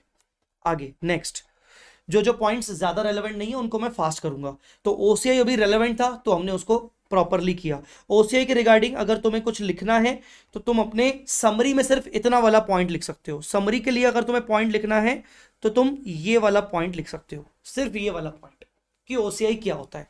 ठीक है? चलिए, आगे। Sir complete set of financial statements financial statements में क्या क्या आता है? फाइनेंशियल स्टेटमेंट्स में बैलेंस शीट आता है करंट ईयर ईयर एंडिंग का। फाइनेंशियल स्टेटमेंट्स में SPL statement of profit and loss along with OCI अपने भाई के साथ आता है। फिर statement of changes in equity changes in equity SOCIE SOCIE SOCIE ये आता है. तीन कैश फ्लो स्टेटमेंट आता है. चार notes significant accounting policies and explanatory information notes accounts पाँच कंपैरेटिव आते हैं. कंपैरेटिव मतलब प्रीवियस ईयर के फिगर्स आते हैं. प्रीवियस ईयर की बैलेंस शीट प्रीवियस ईयर का पी एंड प्रीवियस ईयर के नोट्स अकाउंट्स कंपैरेटिव इंफॉर्मेशन आता है. छह और सातवां तुम मुझे बताओगे? सातवां तुम मुझे बताओगे, मैं इस पर बातचीत रोड मैप के अंदर कर चुका हूँ। मैं इसके अंदर बातचीत रोड मैप के अंदर कर चुका हूँ। तुम मुझे बताओगे कि ये सातवां क्या है? कुल मिला के कंप्लीट सेट में सेवन चीज़ें आती हैं। पहला balance sheet second SPL including OCI third SOCIE fourth cash flow या third cash flow fourth SOCIE कोई दिक्कत नहीं है। पांचवा notes additional information explanatory statements and all छठा कंपैरेटिव इंफॉर्मेशन मतलब balance sheet P and L सातवा तुम बताओगे सातवा तुम बताओगे प्लीज़ प्लीज़ प्लीज़ सातवा तुम बताओगे। मैंने इसके बारे में तुम्हें आ, मैंने इसके बारे में तुम्हें समरी में पॉइंट लिखवाया था। इसके बारे में मैंने तुम्हें समरी में पॉइंट लिखवाया था।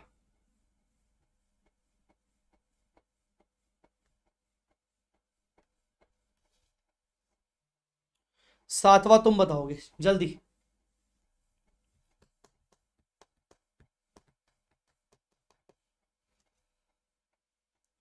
Transition balance sheet very good very good मैंने तुम्हें याद है, बताया था ट्रांजिशन डेट क्या होती है और ट्रांजिशन डेट का रिलेवेंस क्या होता है?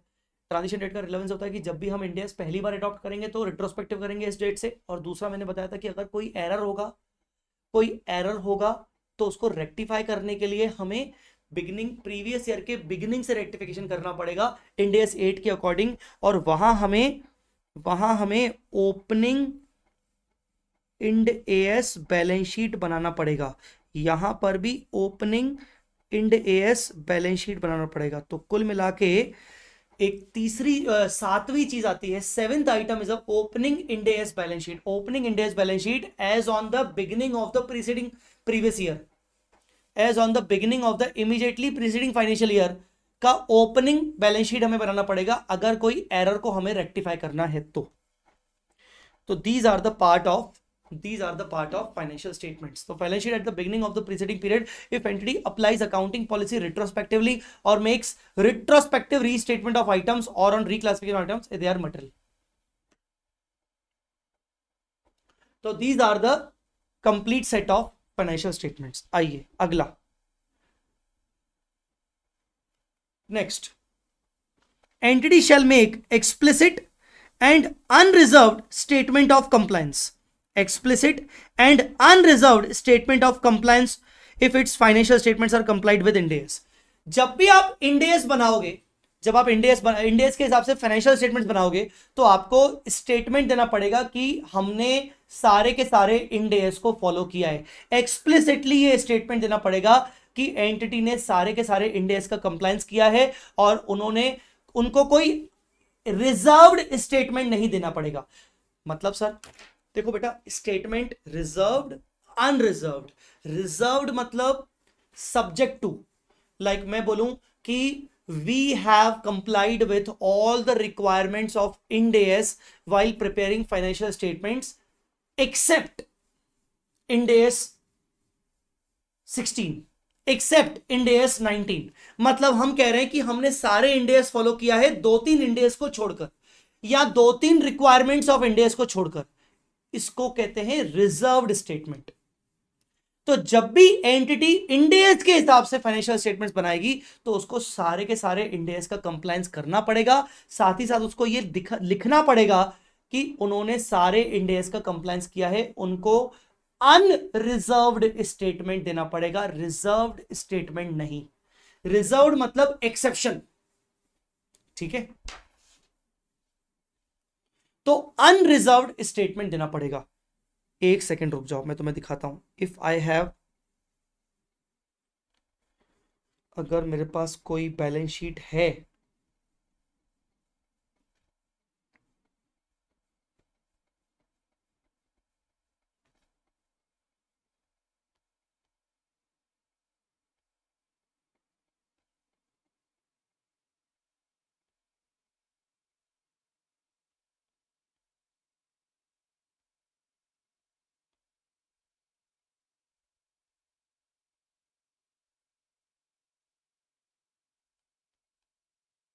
ठीक है, वैसे तुम समझ जाना, क्योंकि मेरे पास ऑडिटर रिपोर्ट है, पर वो जो मैनेजमेंट का स्टेटमेंट होता है, वो अवेलेबल नहीं है मेरे पास। तो कुल मिला के आपको एक अनरिजर्व स्टेटमेंट ऑफ़ कंप्लायंस देना पड़ेगा। आपको सारे के सारे इंडियाज फॉलो करने पड़ेंगे। इस लाइन को लिखने का मतलब ये हुआ कि एंटिटी अगर इंडियस के हिसाब से फाइनेंशियल स्टेटमेंट बना रही है तो उसको सारे इंडियस फॉलो करने पड़ेंगे। वो एक्सेप्शन बेसिस पे ये नहीं कर सकती कि मैं कुछ इंडियस फॉलो करूँगा, कुछ इंडियस फॉलो नहीं करूँगा, कुछ मैं अपने हिसाब से चलूँगा या मैं कुछ अदर ए फॉलो करूँगा। ऐसा नहीं हो सकता। फाइनेंशियल स्टेटमेंट बनाने के लिए आपको सारे इंडियस फॉलो करना मैंडेटरी है और आपको अनरिजर्व स्टेटमेंट देना पड़ेगा। ठीक है? However Ind AS one allows deviation from the requirement of accounting standard हालाँकि, अब मान लो कोई इंडेस की कोई ऐसी अकाउंटिंग रिक्वायरमेंट है जो आप फॉलो नहीं करना चाह रहे हो। जेन्युइनली आपको लग रहा है कि वो फॉलो करने से फाइनेंशियल स्टेटमेंट्स मिसलीड कर जाएँगे या यूज़र का डिसीज़न इन्फ्लुएंस गलत हो जाएगा, उससे यूज़र गलत इंटरप्रिटेशन कर लेगा। तो ऐसे केस में Ind AS one allows deviation from the requirement of any accounting standard in case the management conclude that compliance with Ind AS will be misleading will be misleading and if the regulatory framework require such departure और अगर आपको मान लो law भी allow करता है कि ठीक है, आप भले एक काम करो, आप ये रिक्वायरमेंट फॉलो ना करके, आप जो बेसिक अकाउंटिंग होती है वो कर लो। तो कुल मिला के पहली बात, यहाँ क्या लिखा है? आप इंडेस हमेशा फॉलो करोगे। आपको हमेशा सारे के सारे इंडेस की रिक्वायरमेंट्स फॉलो करनी है। एक्सेप्शन ये है कि अगर फाइनेंशियल स्टेटमेंट्स मिसलीड कर रहे हैं किसी अकाउंटिंग स्टैंडर्ड की रिक्वायरमेंट को फॉलो करने से। तो आप उनको डेविएट कर सकते हो, आप उसको आप उसको फॉलो ना करो। अगर आपको लगता है कि फॉलो करने से फाइनेंशियल स्टेटमेंट्स मिसलीड हो जाएँगे। ठीक है? इसमें किसी को डाउट इस पॉइंट में किसी को डाउट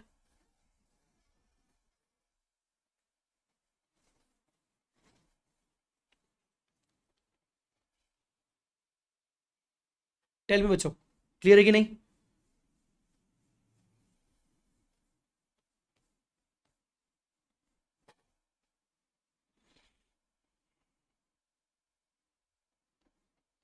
पहला, दूसरा, तीसरा।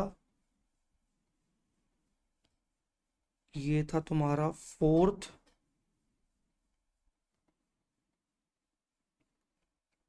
fifth follow all Indias while preparing financial statements सारे इंडियस फॉलो करने हैं। Except when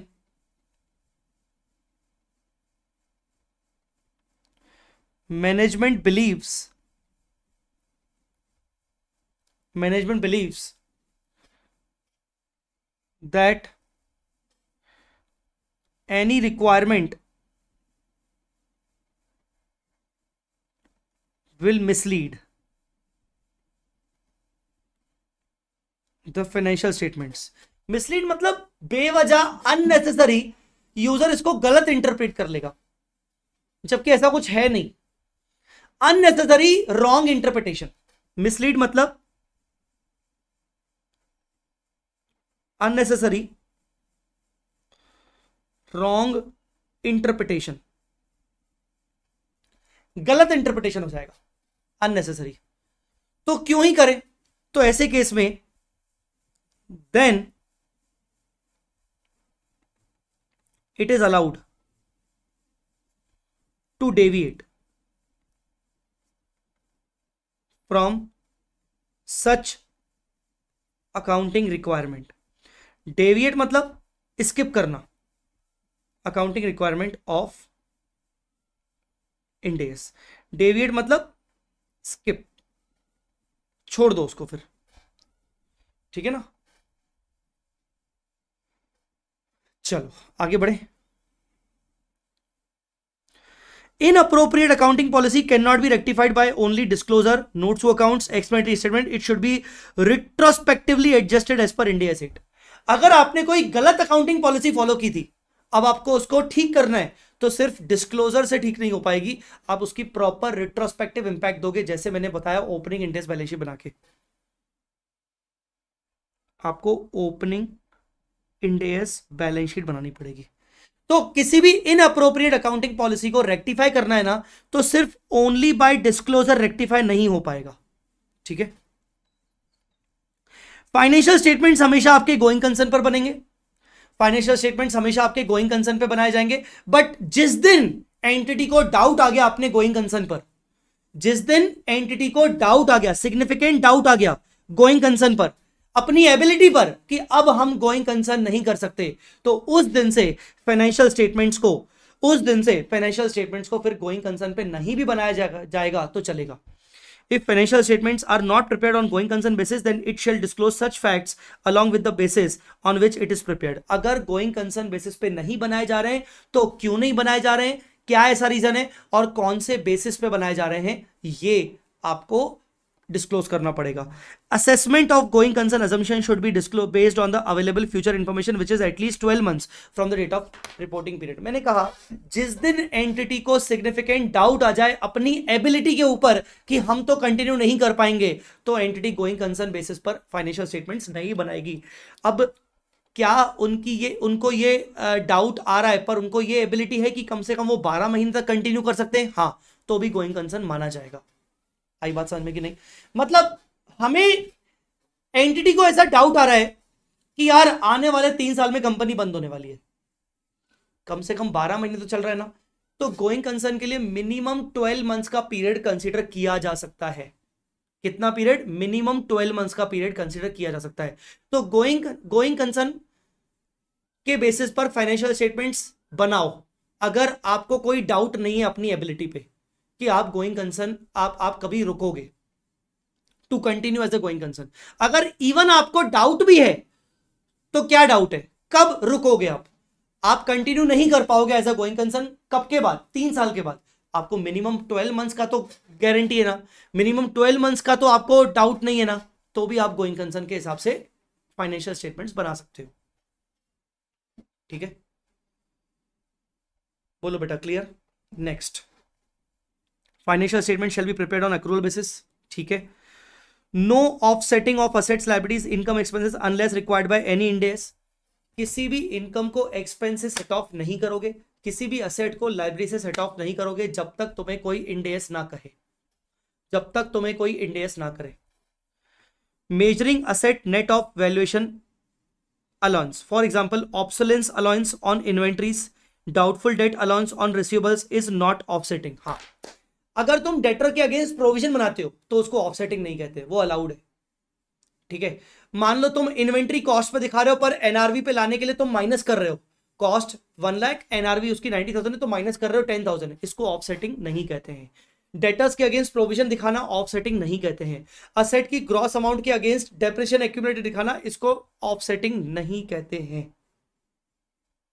Measuring assets net of valuation allowance measuring assets net of valuation allowance is not offsetting उसको ऑफसेटिंग नहीं कहते हैं।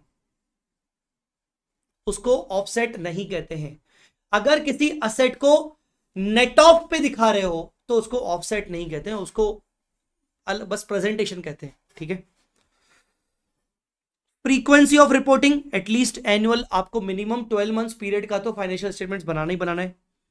चेंज इन प्रेजेंटेशन और change in classification of items reclassify the comparative amounts unless it is impractical current year में तुमने कोई item का amount change कर दिया, तुमने कोई क्लासिफिकेशन चेंज किया करंट ईयर में चेंज किया।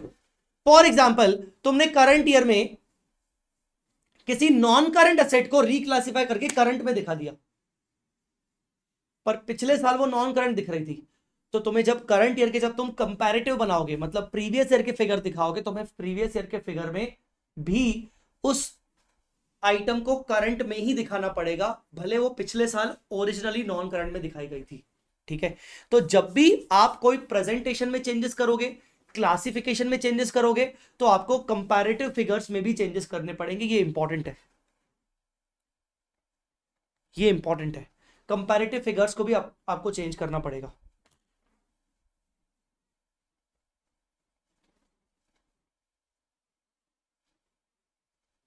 बट सर डिस्क्लोजर तो देना पड़ेगा ना? गोइंग कंसर्न का in case going concern is for more than twelve months see fundamental accounting assumptions क्या होते हैं? Consistency going concern accrual fundamental accounting assumptions का मतलब होता है कि अगर आप अपने फाइनेंशियल स्टेटमेंट्स में अकाउंटिंग पॉलिसी कंसिस्टेंट बेसिस पर फॉलो कर रहे हो अक्रूवल बेसिस पर अगर आपने फाइनेंशियल स्टेटमेंट्स बनाए हैं, और आपने financial statements going concern assumption के बेसिस पर बनाए हैं। तो आपको इन तीनों के बारे में डिस्क्लोज करने की ज़रूरत नहीं है। यूज़र हमेशा अज्यूम करके चलेगा कि तुमने अपने फाइनेंशियल स्टेटमेंट्स गोइंग कंसर्न के हिसाब से बनाए हैं। तुमने सेम अकाउंटिंग पॉलिसी फॉलो की है और तुमने अक्रूवल बेसिस फॉलो किया है। पर अगर तुमने अपने financial statements going concern basis पे नहीं बनाए हैं तो तुम्हें ये फैक्ट डिस्क्लोज करना पड़ेगा।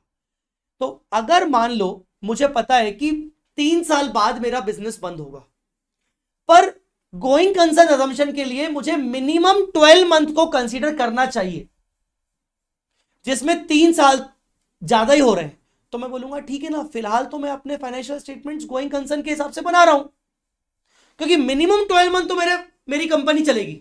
अगर मेरी कंपनी मिनिमम ट्वेल्व मंथ तो चलेगी तो बस बात ही खत्म हो गई। फिर तो मुझे अपना गोइंग कंसर्न फॉलो कर पा रहा हूँ मतलब मैं।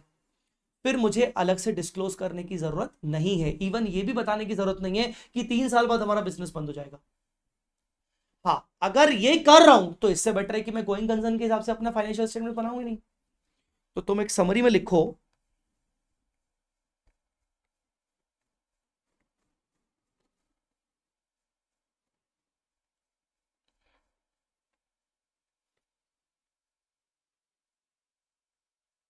फाइनेंशियल स्टेटमेंट्स सॉरी आप लिखो गोइंग कंसर्न गोइंग कंसर्न इसमें लिखो financial statements prepared on going concern assumption financial statements prepared without going concern assumption इस केस में ऑल आइटम्स ऑल आइटम्स मतलब assets liabilities incomes expenses as per Ind AS measurement जो भी respective Ind AS का measurement criteria होगा measurement criteria जो भी Ind AS का रिस्पेक्टिव मेज़रमेंट क्राइटेरिया होगा, उसके हिसाब से बनाया जाएगा। Measure assets at realisable value अब तुम इंडेस नहीं लगाओगे। अगर तुम अपने गोइंग कंसर्न बेसिस पर फाइनेंशियल स्टेटमेंट्स नहीं बना रहे हो तो तुम्हें अपनी असेट्स को रियलाइजेबल वैल्यू पे दिखाना पड़ेगा। And liabilities at settlement value और तुम्हें अपनी लाइबिलिटीज को सेटलमेंट वैल्यू पे दिखाना पड़ेगा। तो ये बहुत बड़ा फ़र्क है। अब देखो, अगर तुम गोइंग कंसर्न अजम्पन फॉलो कर रहे हो तो बात खत्म ना। इसका मतलब तुम सारे इंडियस फॉलो कर रहे हो। तो तुम्हें अलग से बताने की ज़रूरत नहीं है कि तुम गोइंग कंसर्न फॉलो कर रहे हो। अगर तुम गोइंग कंसर्न फॉलो नहीं कर रहे हो तो तुम्हें यह बताना ज़रूरी है कि तुमने अपने फाइनेंशियल स्टेटमेंट्स गोइंग कंसर्न के हिसाब से नहीं बनाए हैं, क्योंकि असेट्स को तुम रियलाइजेबल वैल्यू पे दिखा रहे हो, क्योंकि लाइब्रेरीज को तुम रियलाइज़ सेटलमेंट वैल्यू पे दिखा रहे हो, क्योंकि तुम इंडेस फॉलो नहीं कर रहे हो। अब तुम लाइबिलिटी रियलाइजेबल वैल्यू और सेटलमेंट वैल्यू पे फॉलो दिखा रहे हो मतलब तुम पूरी तरीके से इंडेस फॉलो नहीं कर रहे हो। अब तुम्हें यह बताना जर पड़ेगा कि तुमने गोइंग कंसर्न के हिसाब से नहीं बनाए फाइनेंशियल स्टेटमेंट्स ठीक है? तो ये वही कह रहा था कि If financial statements are not prepared on going concern basis, it shall disclose such fact along with the basis on which it is prepared. Fact बताओ कि गोइंग कंसर्न के बेसिस पर नहीं बनाए गए और कौन से बेसिस पर तुमने फाइनेंशियल स्टेटमेंट्स बनाए तो तुम बताओगे कि तुमने असेट्स को रियलाइजेबल वैल्यू पे दिखाया है और लाइब्रेरीज को सेटलमेंट वैल्यू पे दिखाया है। ये पॉइंट तुम्हारा समरी का पॉइंट हो गया। ये तुम्हारा समरी का पॉइंट हो गया।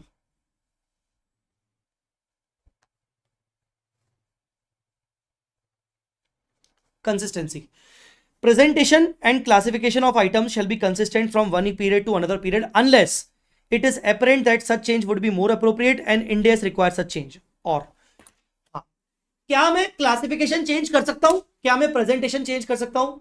क्या मैं ना, मेरा जो पिछला प्रेजेंटेशन था, अब मुझे लग रहा है कि उसका मैं प्रेजेंटेशन चेंज करूँ?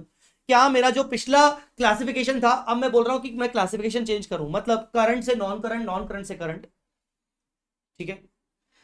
किसी एक्सपेंस को पहले मैं अदर एक्सपेंस में दिखाता था, अब मैं उसको इंप्लॉय बेनिफिट एक्सपेंस में दिखा रहा हूँ that is called change in classification तो क्या मैं क्लासिफिकेशन में चेंजेस कर सकता हूँ?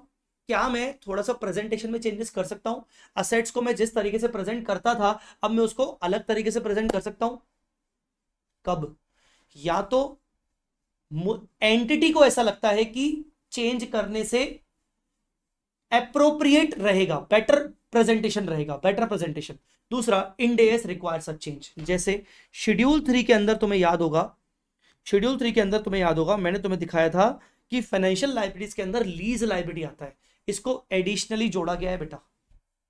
पहले लीज लाइबिलिटी करके फेस पर बैलेंस शीट के फेस पर लीज लाइबिलिटी करके नहीं होता था, हम उसको बोरोइंग के अंदर ही दिखाते थे। आई मेरी बात समझ में? हम उसको बोरिंग के अंदर दिखाते थे। पर शेड्यूल थ्री में चेंजेस हुए लॉ में चेंजेस हुए तो भैया लॉ में चेंजेस हुए एक तरीके से इंडियस के चेंजेस हो गए। तो अब तो आपको क्या करना पड़ेगा? अब आपको बेसिकली वो रिक्वायरमेंट को फॉलो करने के लिए अपना प्रेजेंटेशन चेंज करना पड़ेगा, जहाँ तुम पिछले साल तक लीज लाइब्रेटी को नोट्स अकाउंट्स में दिखाते थे, अब तुम्हें फेस पे दिखाना पड़ेगा तो तुम्हें कंपैरेटिव में भी चेंजेस करने पड़ेंगे। और ये चेंज ज़रूरी है because it is required by the Ind AS समझा? सो so, क्या मैं क्लासिफिकेशन चेंज कर सकता हूँ? क्या मैं प्रेजेंटेशन चेंज कर सकता हूँ? Yes when it is required by any Ind AS और when it is apparent that such change would be more appropriate ऐसा लगता है कि वो चेंज ज़्यादा बेटर चेंज है।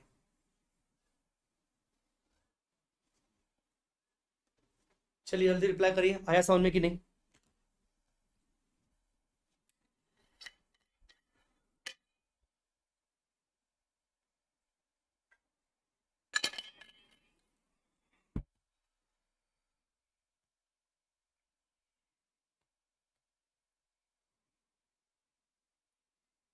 Next structure and content of financial statement clearly identify each financial statement clearly identify each financial statement and notes and distinguish from other information in publish documents disclose following information prominently and repeated necessary ये वाली बातों को आपको properly financial statements में हर बार दिखानी है। एंटिटी का नाम अगर कोई चेंज हुआ है नेम में तो।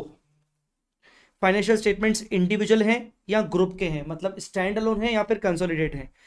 रिपोर्टिंग पीरियड का एंडिंग क्या है? और कितने पीरियड के फाइनेंशियल स्टेटमेंट्स कवर्ड हो रहे हैं? बारह महीने के फिफ्टीन मंथ्स के मिनिमम ट्वेल्व मंथ्स होना चाहिए, हमने ऊपर पढ़ा था एटलीस्ट एनुअल कौन सी करेंसी में फाइनेंशियल स्टेटमेंट्स प्रेजेंट किए गए हैं? लेवल ऑफ़ राउंडिंग ऑफ़ आपने रुपीज़ इन लैक्स किया है मिलियंस किया है क्रोर्स किया है, ये सब। तो structure and content of financial statement minimum ये वाले आइटम हर बार आपको रिपीट करने हैं। Separate classification of current non current items except when the presentation on liquidity basis provides reliable and more relevant information हा। वैसे तो हर असेट लाइब्रेटी का करंट और नॉन करंट क्लासिफिकेशन होगा। लाइब्रेटी का भी करंट और नॉन करंट होगा। बट अगर आइडेंटिटी को लगता है कि हम लिक्विडिटी बेसिस पर प्रेजेंट करके ज़्यादा रिलायबल इंफॉर्मेशन दिखा सकते हैं?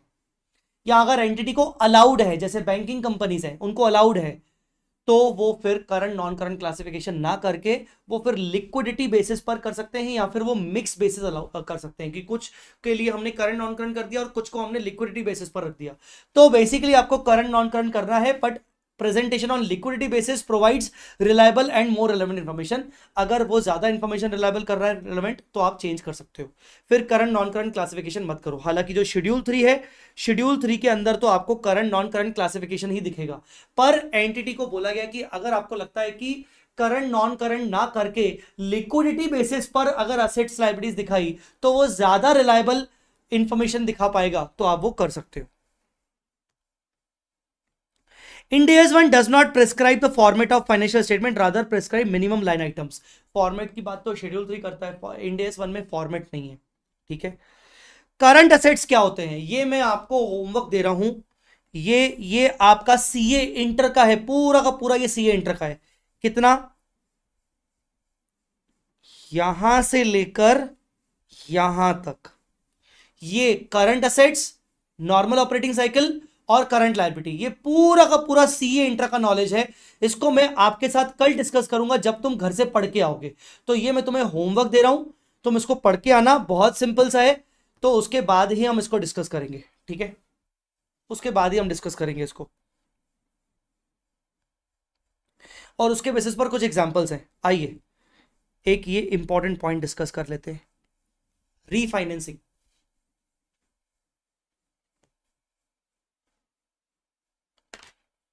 रीफाइनेंसिंग रीफाइनेंसिंग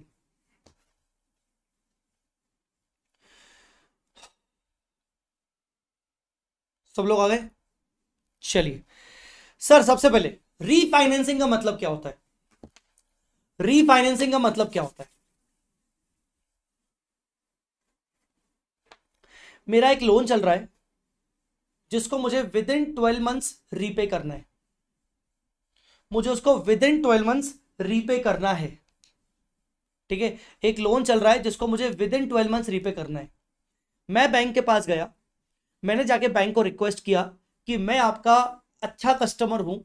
एक काम कर सकते हो क्या? मेरे को इसमें कुछ अमाउंट और बढ़ा दो और मेरा लोन टर्म एक्सटेंड कर दो। या अमाउंट मत बढ़ाओ, बस मेरा लोन टर्म एक्सटेंड कर दो। तो रीफाइनेंसिंग का मतलब होता है शॉर्ट टर्म लोन को लॉन्ग टर्म लोन में कन्वर्ट करना।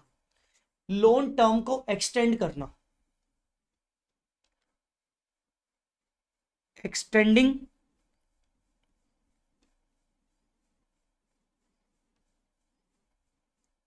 the loan term. Loan term को एक्सटेंड करना, इसको कहते हैं रीफाइनेंसिंग। शॉर्ट टर्म लोन को लॉन्ग टर्म बनाना।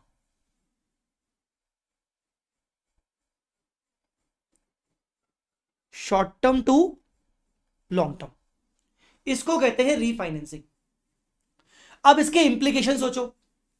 ऐसा लोन जो शॉर्ट टर्म था तो वो कहाँ दिख रहा होगा? करंट में। अब उसको लॉन्ग टर्म बना दिया तो वो कहाँ दिखना चाहिए? नॉन करंट में। ऐसा लोन जो शॉर्ट टर्म था तो करंट में दिख रहा होगा, अब वो कहाँ दिखना चाहिए? नॉन करंट में, क्योंकि वो लॉन्ग टर्म हो गया। एम राइट वो लॉन्ग टर्म हो गया। तो हमें प्रेजेंटेशन चेंज करना पड़ेगा। ठीक है? प्रेजेंटेशन चेंज करेंगे करंट ईयर का तो कंपैरेटिव का भी चेंज करना पड़ेगा। ठीक है? पर अब केसेस क्या है? केस पर देखना। Refinancing agreement on a long term basis मतलब शॉर्ट टर्म को लॉन्ग टर्म करना है is completed after the reporting period ये रीफाइनेंसिंग एग्रीमेंट कब हुआ? रिपोर्टिंग पीरियड के बाद हुआ। हमारी बैलेंस शीट डेट है थर्टी फ़र्स्ट मार्च। हमने रीफाइनेंसिंग एग्रीमेंट करवाया अप्रैल में और अप्रैल में हमने बोला कि अप्रैल में हमें बैंक ने अलाउ कर दिया कि हम अपने शॉर्ट टर्म लोन को लॉन्ग टर्म कर सकते हैं। मतलब अब हमें रीपे करने के लिए एक्स्ट्रा टाइम दे दिया गया। जो financial statement thirty first March को एंड हो रहे हैं, वो जाके अप्रूव होंगे जुलाई में।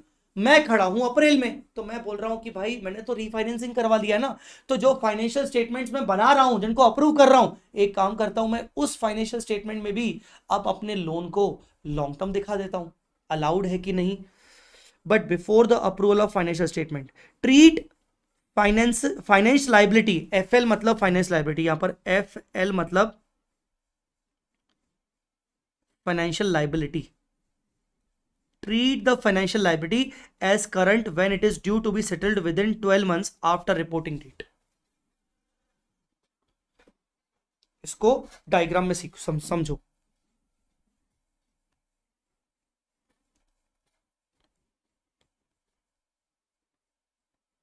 रीफाइनेंसिंग तो रीफाइनेंसिंग मतलब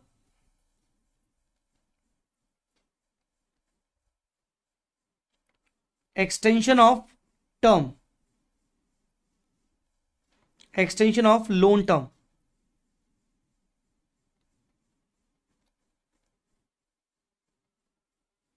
short term to long term ये हो गया रीफाइनेंसिंग ठीक है? अब example financial year twenty four twenty five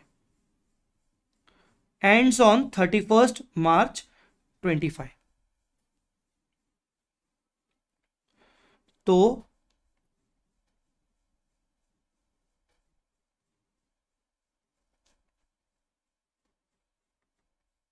ये financial year twenty four twenty five है। ये thirty first March twenty five है। यहाँ लोन जो है वो शॉर्ट टर्म है। ठीक है? अब ये हुए आपके फाइनेंशियल स्टेटमेंट्स 24 25 अप्रूव्ड यहाँ पर अप्रूव्ड हुए। कहाँ अप्रूव्ड हुए? मान लो जुलाई में। अब इस पीरियड में, इस पीरियड में यहाँ पर यहाँ पर रीफाइनेंसिंग अग्रीमेंट आ गया। रीफाइनेंसिंग अग्रीमेंट लोन जो हो गया ना, वो short term to long term हो गया। यहाँ लोन शॉर्ट टर्म था, अब लोन शॉर्ट टर्म से लॉन्ग टर्म हो गया। बैंक्स के साथ मेरा एग्रीमेंट हो गया। पर ये एग्रीमेंट बैलेंस शीट डेट के बाद हुआ। एंटिटी कह रही है कि, अरे, कोई बात नहीं ना, वैसे भी ये वाले जो फाइनेंशियल स्टेटमेंट हैं ये तो अभी अप्रूव ही नहीं हुए ना as on as on agreement date ये अप्रूव ही नहीं हुए। तो इसमें मैं चेंज कर दूँ क्या? क्या मैं इसको शॉर्ट टर्म से बदल के लॉन्ग टर्म कर दूँ क्या? जवाब दो, हाँ या ना। अगर जवाब दे सकते हो तो इसको पढ़ने के बाद दे दो। आपको क्वेश्चन समझा दिया मैंने। एंटिटी कह रही है कि यार, वैसे भी फाइनेंशियल स्टेटमेंट्स अप्रूव नहीं हुए। तो अप्रूवल से पहले तो हम एक काम करते हैं, इसको चेंज कर देते हैं। हम इसको एडजस्टिंग इवेंट मान लेते हैं। सीए इंटरमीडिएट में ए एस फोर करके पढ़ाया गया था तुम्हें। सीए इंटरमीडिएट में ए एस फोर पढ़ाया गया था। Adjusting non adjusting event occurring after the balance sheet date balance sheet date के बाद ये इवेंट हुआ। इस इवेंट के बेसिस पर क्या मैं अपनी बैलेंस शीट डेट के लोन का क्लासिफिकेशन शॉर्ट टर्म से लॉन्ग टर्म कर दूँ? हाँ या ना? तो आपको जवाब देना है। नलायक को जवाब दो। सोचो जल्दी।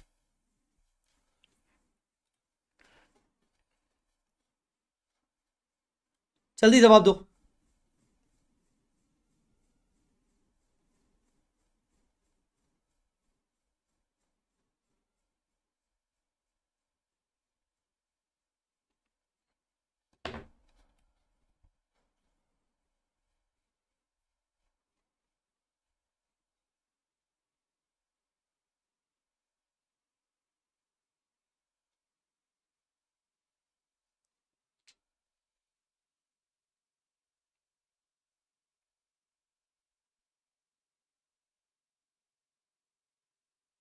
क्या मैं यहाँ पर लोन का क्लासिफिकेशन चेंज कर सकता हूँ?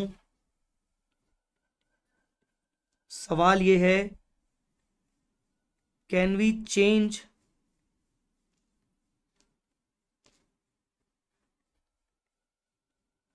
the loan classification from current to non current as on thirty first March twenty five the answer is no treat it as non adjusting event only disclosure सिर्फ़ डिस्क्लोजर करेंगे। Agreement जो free financing का हुआ, वो balance sheet date के बाद हुआ। As on balance sheet date हमें पता नहीं था कि एग्रीमेंट होगा, इसीलिए हम इसका classification thirty first March twenty five को करंट ही कंटिन्यू करेंगे। करंट ही कंटिन्यू करेंगे, भले वो रीफाइनेंसिंग हो चुका है बट थर्टी फ़र्स्ट मार्च के बाद हुआ ना। आया समझ में? सुमित, आपने बोला यस कर सकते हैं। बेटा, नहीं कर सकते। क्या लिखा है? आइए। वापस से पूरा पूरा पॉइंट पढ़ते हैं।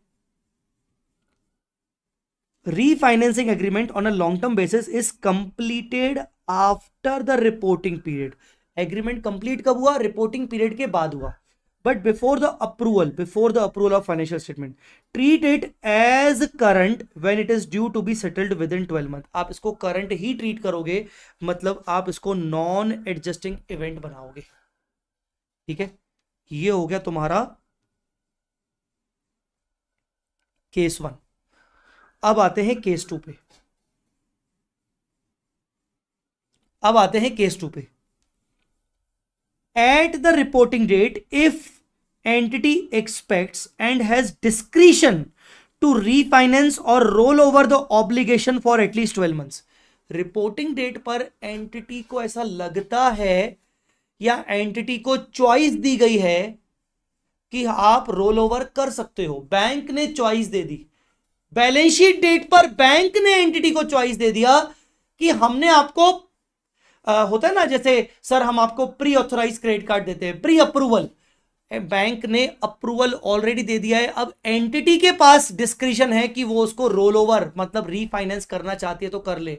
ऐसे केस में हम उसको treat that liability as a non current even if it is due to be settled within twelve months अब आप इसको नॉन करंट ट्रीट करोगे बिकॉज़ बैलेंस शीट डेट पर हमारे पास चॉइस थी और हमें लगता है कि हम इसको लॉन्ग टर्म ले जाएँगे।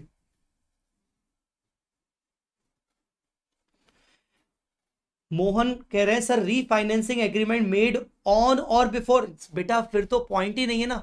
If refinancing agreement is done before 31st March, then it is a then there is no question of treating it as a current liability. Definitely, it will be a long term. It will be a non-current. The main question is ki as on reporting date, what was there?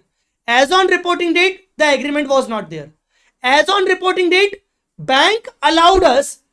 Now it is at our discretion whether we want to uh, re uh, whether we want to extend the term or not if we expect that we will extend the term we will treat it as a non-current.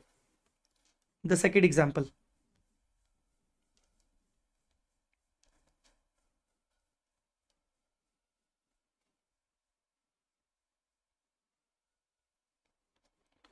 The second example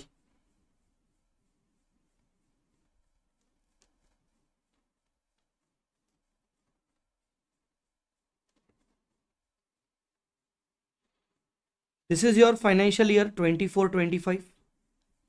It ends on 31st March 25. Here, bank approved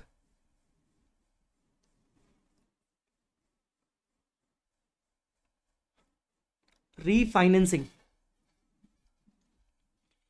but it is pending at entities entities decision. मतलब bank ने approve कर दिया refinancing पर अभी entity का decision नहीं हुआ। यहाँ पर लोन दिख रहा है लोन दिख रहा है शॉर्ट टर्म मतलब मुझे अभी एंटिटी ने डिसाइड नहीं किया है। बोलो, क्या करना है? बोलो, क्या करना है? On 31st March 25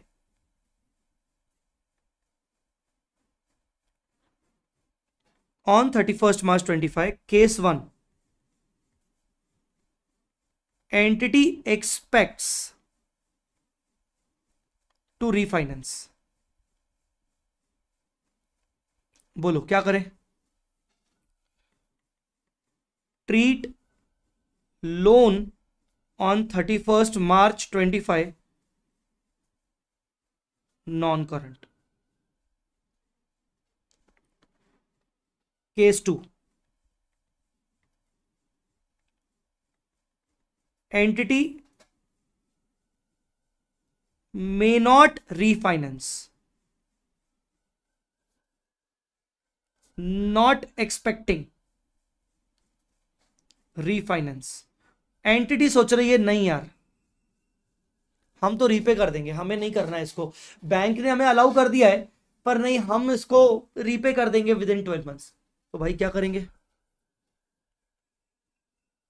Treat loan on thirty first March twenty five as current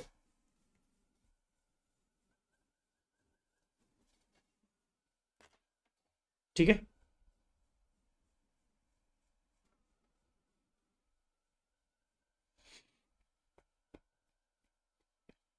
ठीक है? सो so, मोहन का जो एक क्वेश्चन है कि सर थर्टी फ़र्स्ट मार्च से पहले ही अगर रीफाइनेंसिंग का एग्रीमेंट हो चुका है फिर तो बात ही खत्म हो गई ना। एग्रीमेंट रीफाइनेंसिंग से रीफाइनेंसिंग ऑलरेडी हो चुका है तो हम उसको लोन करें हम उसको लॉन्ग टर्म करेंगे हम क्लासिफिकेशन चेंज करेंगे। पर थर्टी फ़र्स्ट मार्च से पहले बैंक ने प्री अप्रूव कर लिया। बैंक ने प्री अप्रूव कर लिया pre approved refinancing but it is pending at entity's decision thirty first March को अभी भी पेंडिंग है decision is pending decision is pending at entity's discretion entity की चॉइस के ऊपर है। तो यहाँ पर एंटिटी बोलेगी क्या एक्सपेक्टेशन है कि हम रिफाइनेंसिंग कर सकते हैं? हाँ चांसेस अच्छे खासे हैं। तो हम इसको नॉन करंट करेंगे। नहीं चांसेस अच्छे खासे नहीं है। तो करंट ही ट्रीट करेंगे। बोलो बेटा क्लियर हुआ कि नहीं? एक बार इसको नोट कर लीजिए। समझ में आ गया सबको? रिक्लासिफिकेशन का फंडा।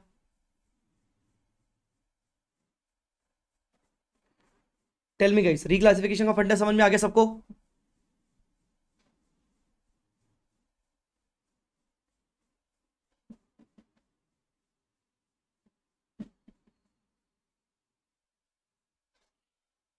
नोट कर लिया हो तो मैं आगे बढ़ूं।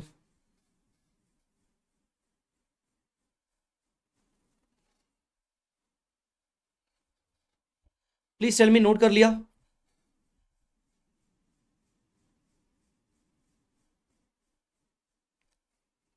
चलिए।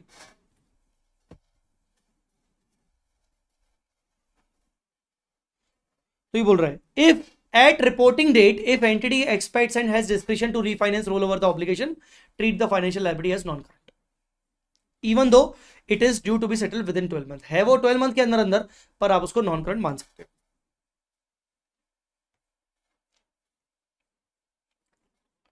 ये मैं पॉइंट सबसे लास्ट में करूँगा आज के। पहले आ जाते हैं।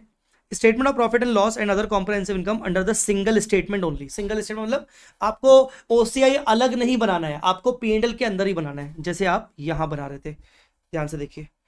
आप पीएनडल और ओसीआई इकट्ठा एक ही बनाओगे। ये पूरा स्टेटमेंट सिंगल स्टेटमेंट है, एक ही है। मतलब ओसीआई अलग पीएनडल के आइटम्स अलग नहीं। सिंगल स्टेटमेंट के अंदर दो सेक्शंस रहेंगे, ठीक है? अलोकेशन ऑफ़ प्रॉफिट और loss and OCI attributable to non controlling interest and owner of parent बेटा, ये पॉइंट जो है ना तुम्हारा, ये कंसोलिडेटेड पीएनडल से रिलेटेड है। जब तुम पी पीएनडल बना लोगे पी पीएनडल बना लोगे, उसमें ओसीआई के आइटम्स भी आ जाएँगे तो तुम्हें टोटल प्रॉफिट को दो हिस्सों में डिवाइड करना पड़ेगा non controlling interest and owners of parent non controlling interest मतलब जो तुम सीए इंटर में माइनॉरिटी इंटरेस्ट करते थे. कंसोलिडेटेड प्रॉफिट एंड लॉस में सब्सिडरी के जो शेयर होल्डर्स हैं, उनके रिस्पेक्ट में कितना प्रॉफिट है और बाकी पेरेंट का कितना प्रॉफिट है, वो दिखाना पड़ेगा. ये तो मैं आगे चल के मैं कंसोलिडेशन के चैप्टर में समझाऊँगा don't worry OCI will be grouped into the items दो आइटम में ग्रुप किया जाएगा which will not be reclassified and which will be reclassified मतलब एनआरपीएल और दूसरा आरपीएल ओसीआई को भी हमें दो हिस्सों में रिक्ला डिवाइड करना पड़ेगा एनआरपीएल और RPL extraordinary items prohibited आप कोई भी आइटम को एक्स्ट्रा ऑर्डनरी हेड करके नहीं दिखाओगे अलाउड नहीं है शेड्यूल थ्री में भी मैंने आपको दिखाया था। ठीक है? Presentation of notes normally in the following order किस ऑर्डर में आप नोट्स अकाउंट्स दिखाओगे? पहला statement of compliance with India सबसे पहले आप अपना स्टेटमेंट दिखाओगे। कि आपने कंप्लायंस किया है कि नहीं किया है प्रॉपर आपका कंप्लायंस है कि नहीं। दोस्त, एक सेकंड मैं ना इसमें और एक बार देख लेता हूँ सन टीवी का ही देख लेता हूँ, मेरे हिसाब से मिल जाना चाहिए मुझे। ये ऑडिटर रिपोर्ट है। ये स्टैंड अलोन सीधा सीधा आ गया यार, नहीं यार, फिर नहीं मिलेगा। फिर भी रुक जाओ, फिर भी रुक जाओ, फिर भी रुक जाओ, फिर भी रुक जाओ। ये रहे नोट्स ये रहे नोट्स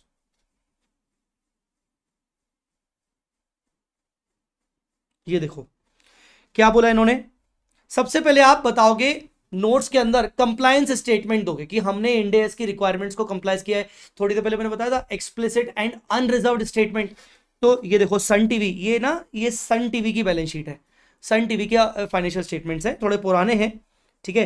तो यहाँ पर उन्होंने देखो बताया है कि सन टीवी के बारे में उन्होंने पहले अपनी कॉर्पोरेट इन्फॉर्मेशन दी है। फिर उन्होंने बताया कि उन्होंने अकाउंटिंग स्टैंडर्ड्स इंड एएस को फॉलो किया accounting policy have been consistently applied except when a newly issued accounting standard is initially adopted उन्होंने ये पूरा बताया है।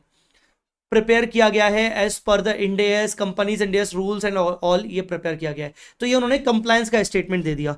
ठीक है? फिर summary of significant accounting policies आपकी कौन कौन सी अकाउंटिंग पॉलिसीज़ हैं? तो यहाँ देखो, आ जाओ। अब देखो यहाँ पर उन्होंने summary of significant accounting policies देखो उन्होंने दे दिया कि उन्होंने ये सिग्निफिकेंट अकाउंटिंग पॉलिसीज़ को को कौन कौन सी पॉलिसीज़ को फॉलो किया है। ठीक है? फिर उसके बाद supporting information for item shown in the balance sheet P and L cash flow मतलब सारे शेड्यूल्स दिखाने हैं। तो देखो सन टीवी ने ये सबके बाद उन्होंने सपोर्टिंग इन्फॉर्मेशन ये पूरी अकाउंटिंग पॉलिसी चल रही है अकाउंटिंग पॉलिसी चल रही है पॉलिसी चल रही है। पॉलिसी पॉलिसी पॉलिसी पॉलिसी बाप रे, यहाँ से उन्होंने ये शेड्यूल बनाना शुरू कर दिए। ये शेड्यूल्स बनाना शुरू कर दिए। ठीक है? Other disclosure such as contingent liabilities non financial disclosures बाकी के डिस्क्लोजर्स लास्ट में देने पड़ेंगे।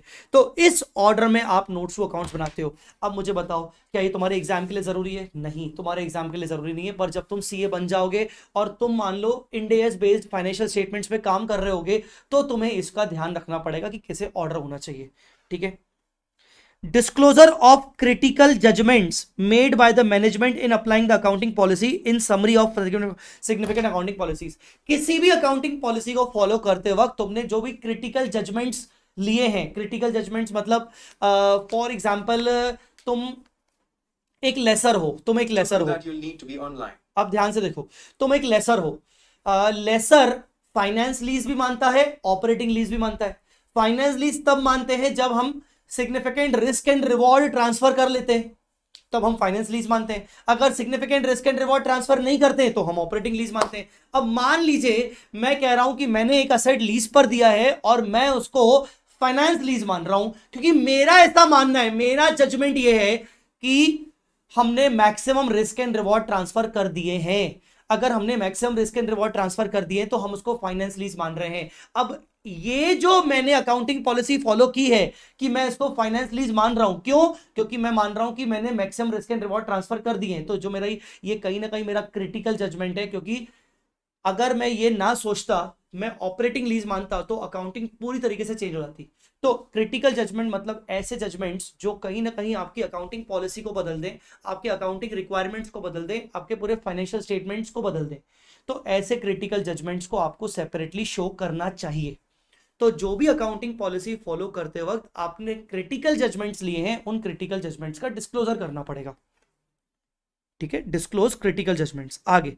डिस्क्लोज की सोर्स ऑफ़ एस्टिमेशन अनसर्टनिटी की source of estimation uncertainty at the end of the reporting period that have a significant risk of causing material adjustment to the carrying amount of asset liability with the next financial year क्या लिखा है? जो assumptions और estimates लिए गए हैं year end पे, उनके कारण नेक्स्ट फाइनेंशियल ईयर में असेट लाइबिलिटी की बुक वैल्यू पर अगर कोई मटेरियल इंपैक्ट आ सकता है तो वो अजम्पन और एस्टिमेट डिस्क्लोज करो। तो कुल मिला के आपने जो भी एस्टिमेशंस लिए हैं जो अनसर्टेन है, हो सकता है उसके कारण आगे चल के असेट लाइबिलिटी की वैल्यू बदल जाए। हो सकता है वो आपका एस्टिमेशन ही बदल जाए। तो कुछ अगर एस्टिमेशन में अनसर्टेनिटी है, ऐसे एस्टिमेट्स हैं जो आपके फ्यूचर में असेट लाइबिलिटी को बदल सकते हैं, उनके एस्टिमेट के बदलने के कारण उनकी वैल्यू बदल सकती है तो उन एस्टिमेशन को भी डिस्क्लोज करो। दैट्स इट ठीक है? कार्व आउट अभी करने की ज़रूरत नहीं है। Difference between Ind AS one and I S one अभी फ़िलहाल करने की ज़रूरत नहीं है। अभी बच गया अपना सिर्फ़ ये वाला पार्ट तो तुम घर से रीड करके आओगे। ये तुम्हें पार्ट घर से रीड करके आना है और अभी पार्ट बच गया अपना ब्रीच ऑफ़ प्रोविज़न मुझे बताओ कंटिन्यू करना है आगे कि मैं कल कंटिन्यू करूँ? टेल मी अभी कंटिन्यू करना चाहते हो कि मैं कल पढ़ाऊं? अभी कंटिन्यू करना चाहते हो कि मैं कल पढ़ाऊं? टेल मी क्योंकि क्या है कि प्रैक्टिकल पॉइंट्स नहीं है तो इसलिए मैं भी समझ सकता हूँ कि यार बस, सर बस बस बस।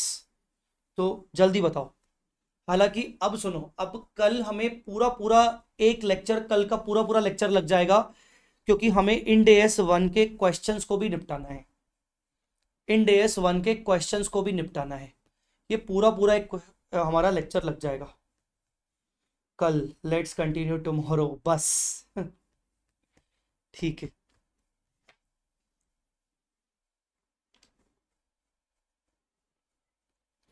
तुम ये क्वेश्चन होमवर्क में ले लो। ये क्वेश्चन होमवर्क में ले लो।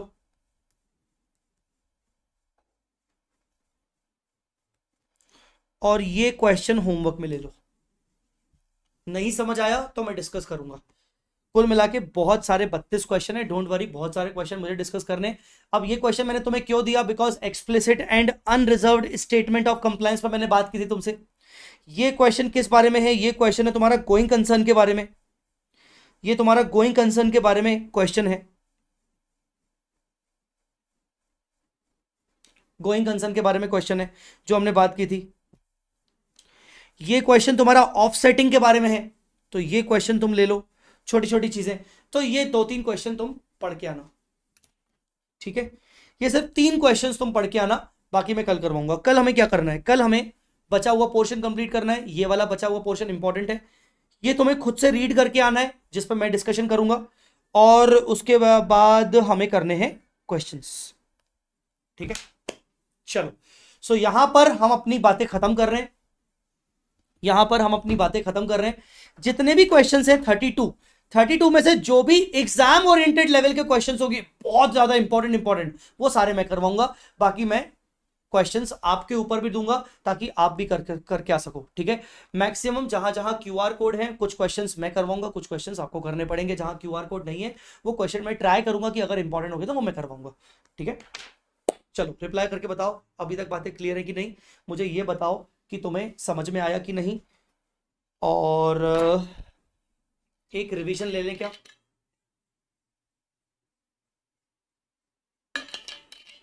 चलो, एक रिवीजन ले लेते हैं। पूरा पूरा एक रिवीजन ले लेते हैं इंडिया एस वन का।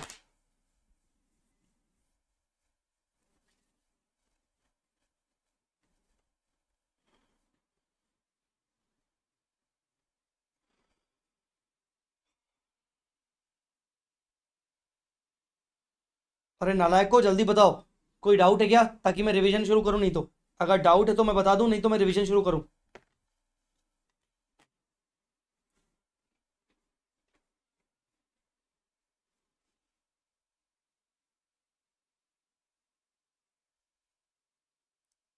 शुरू करूँ?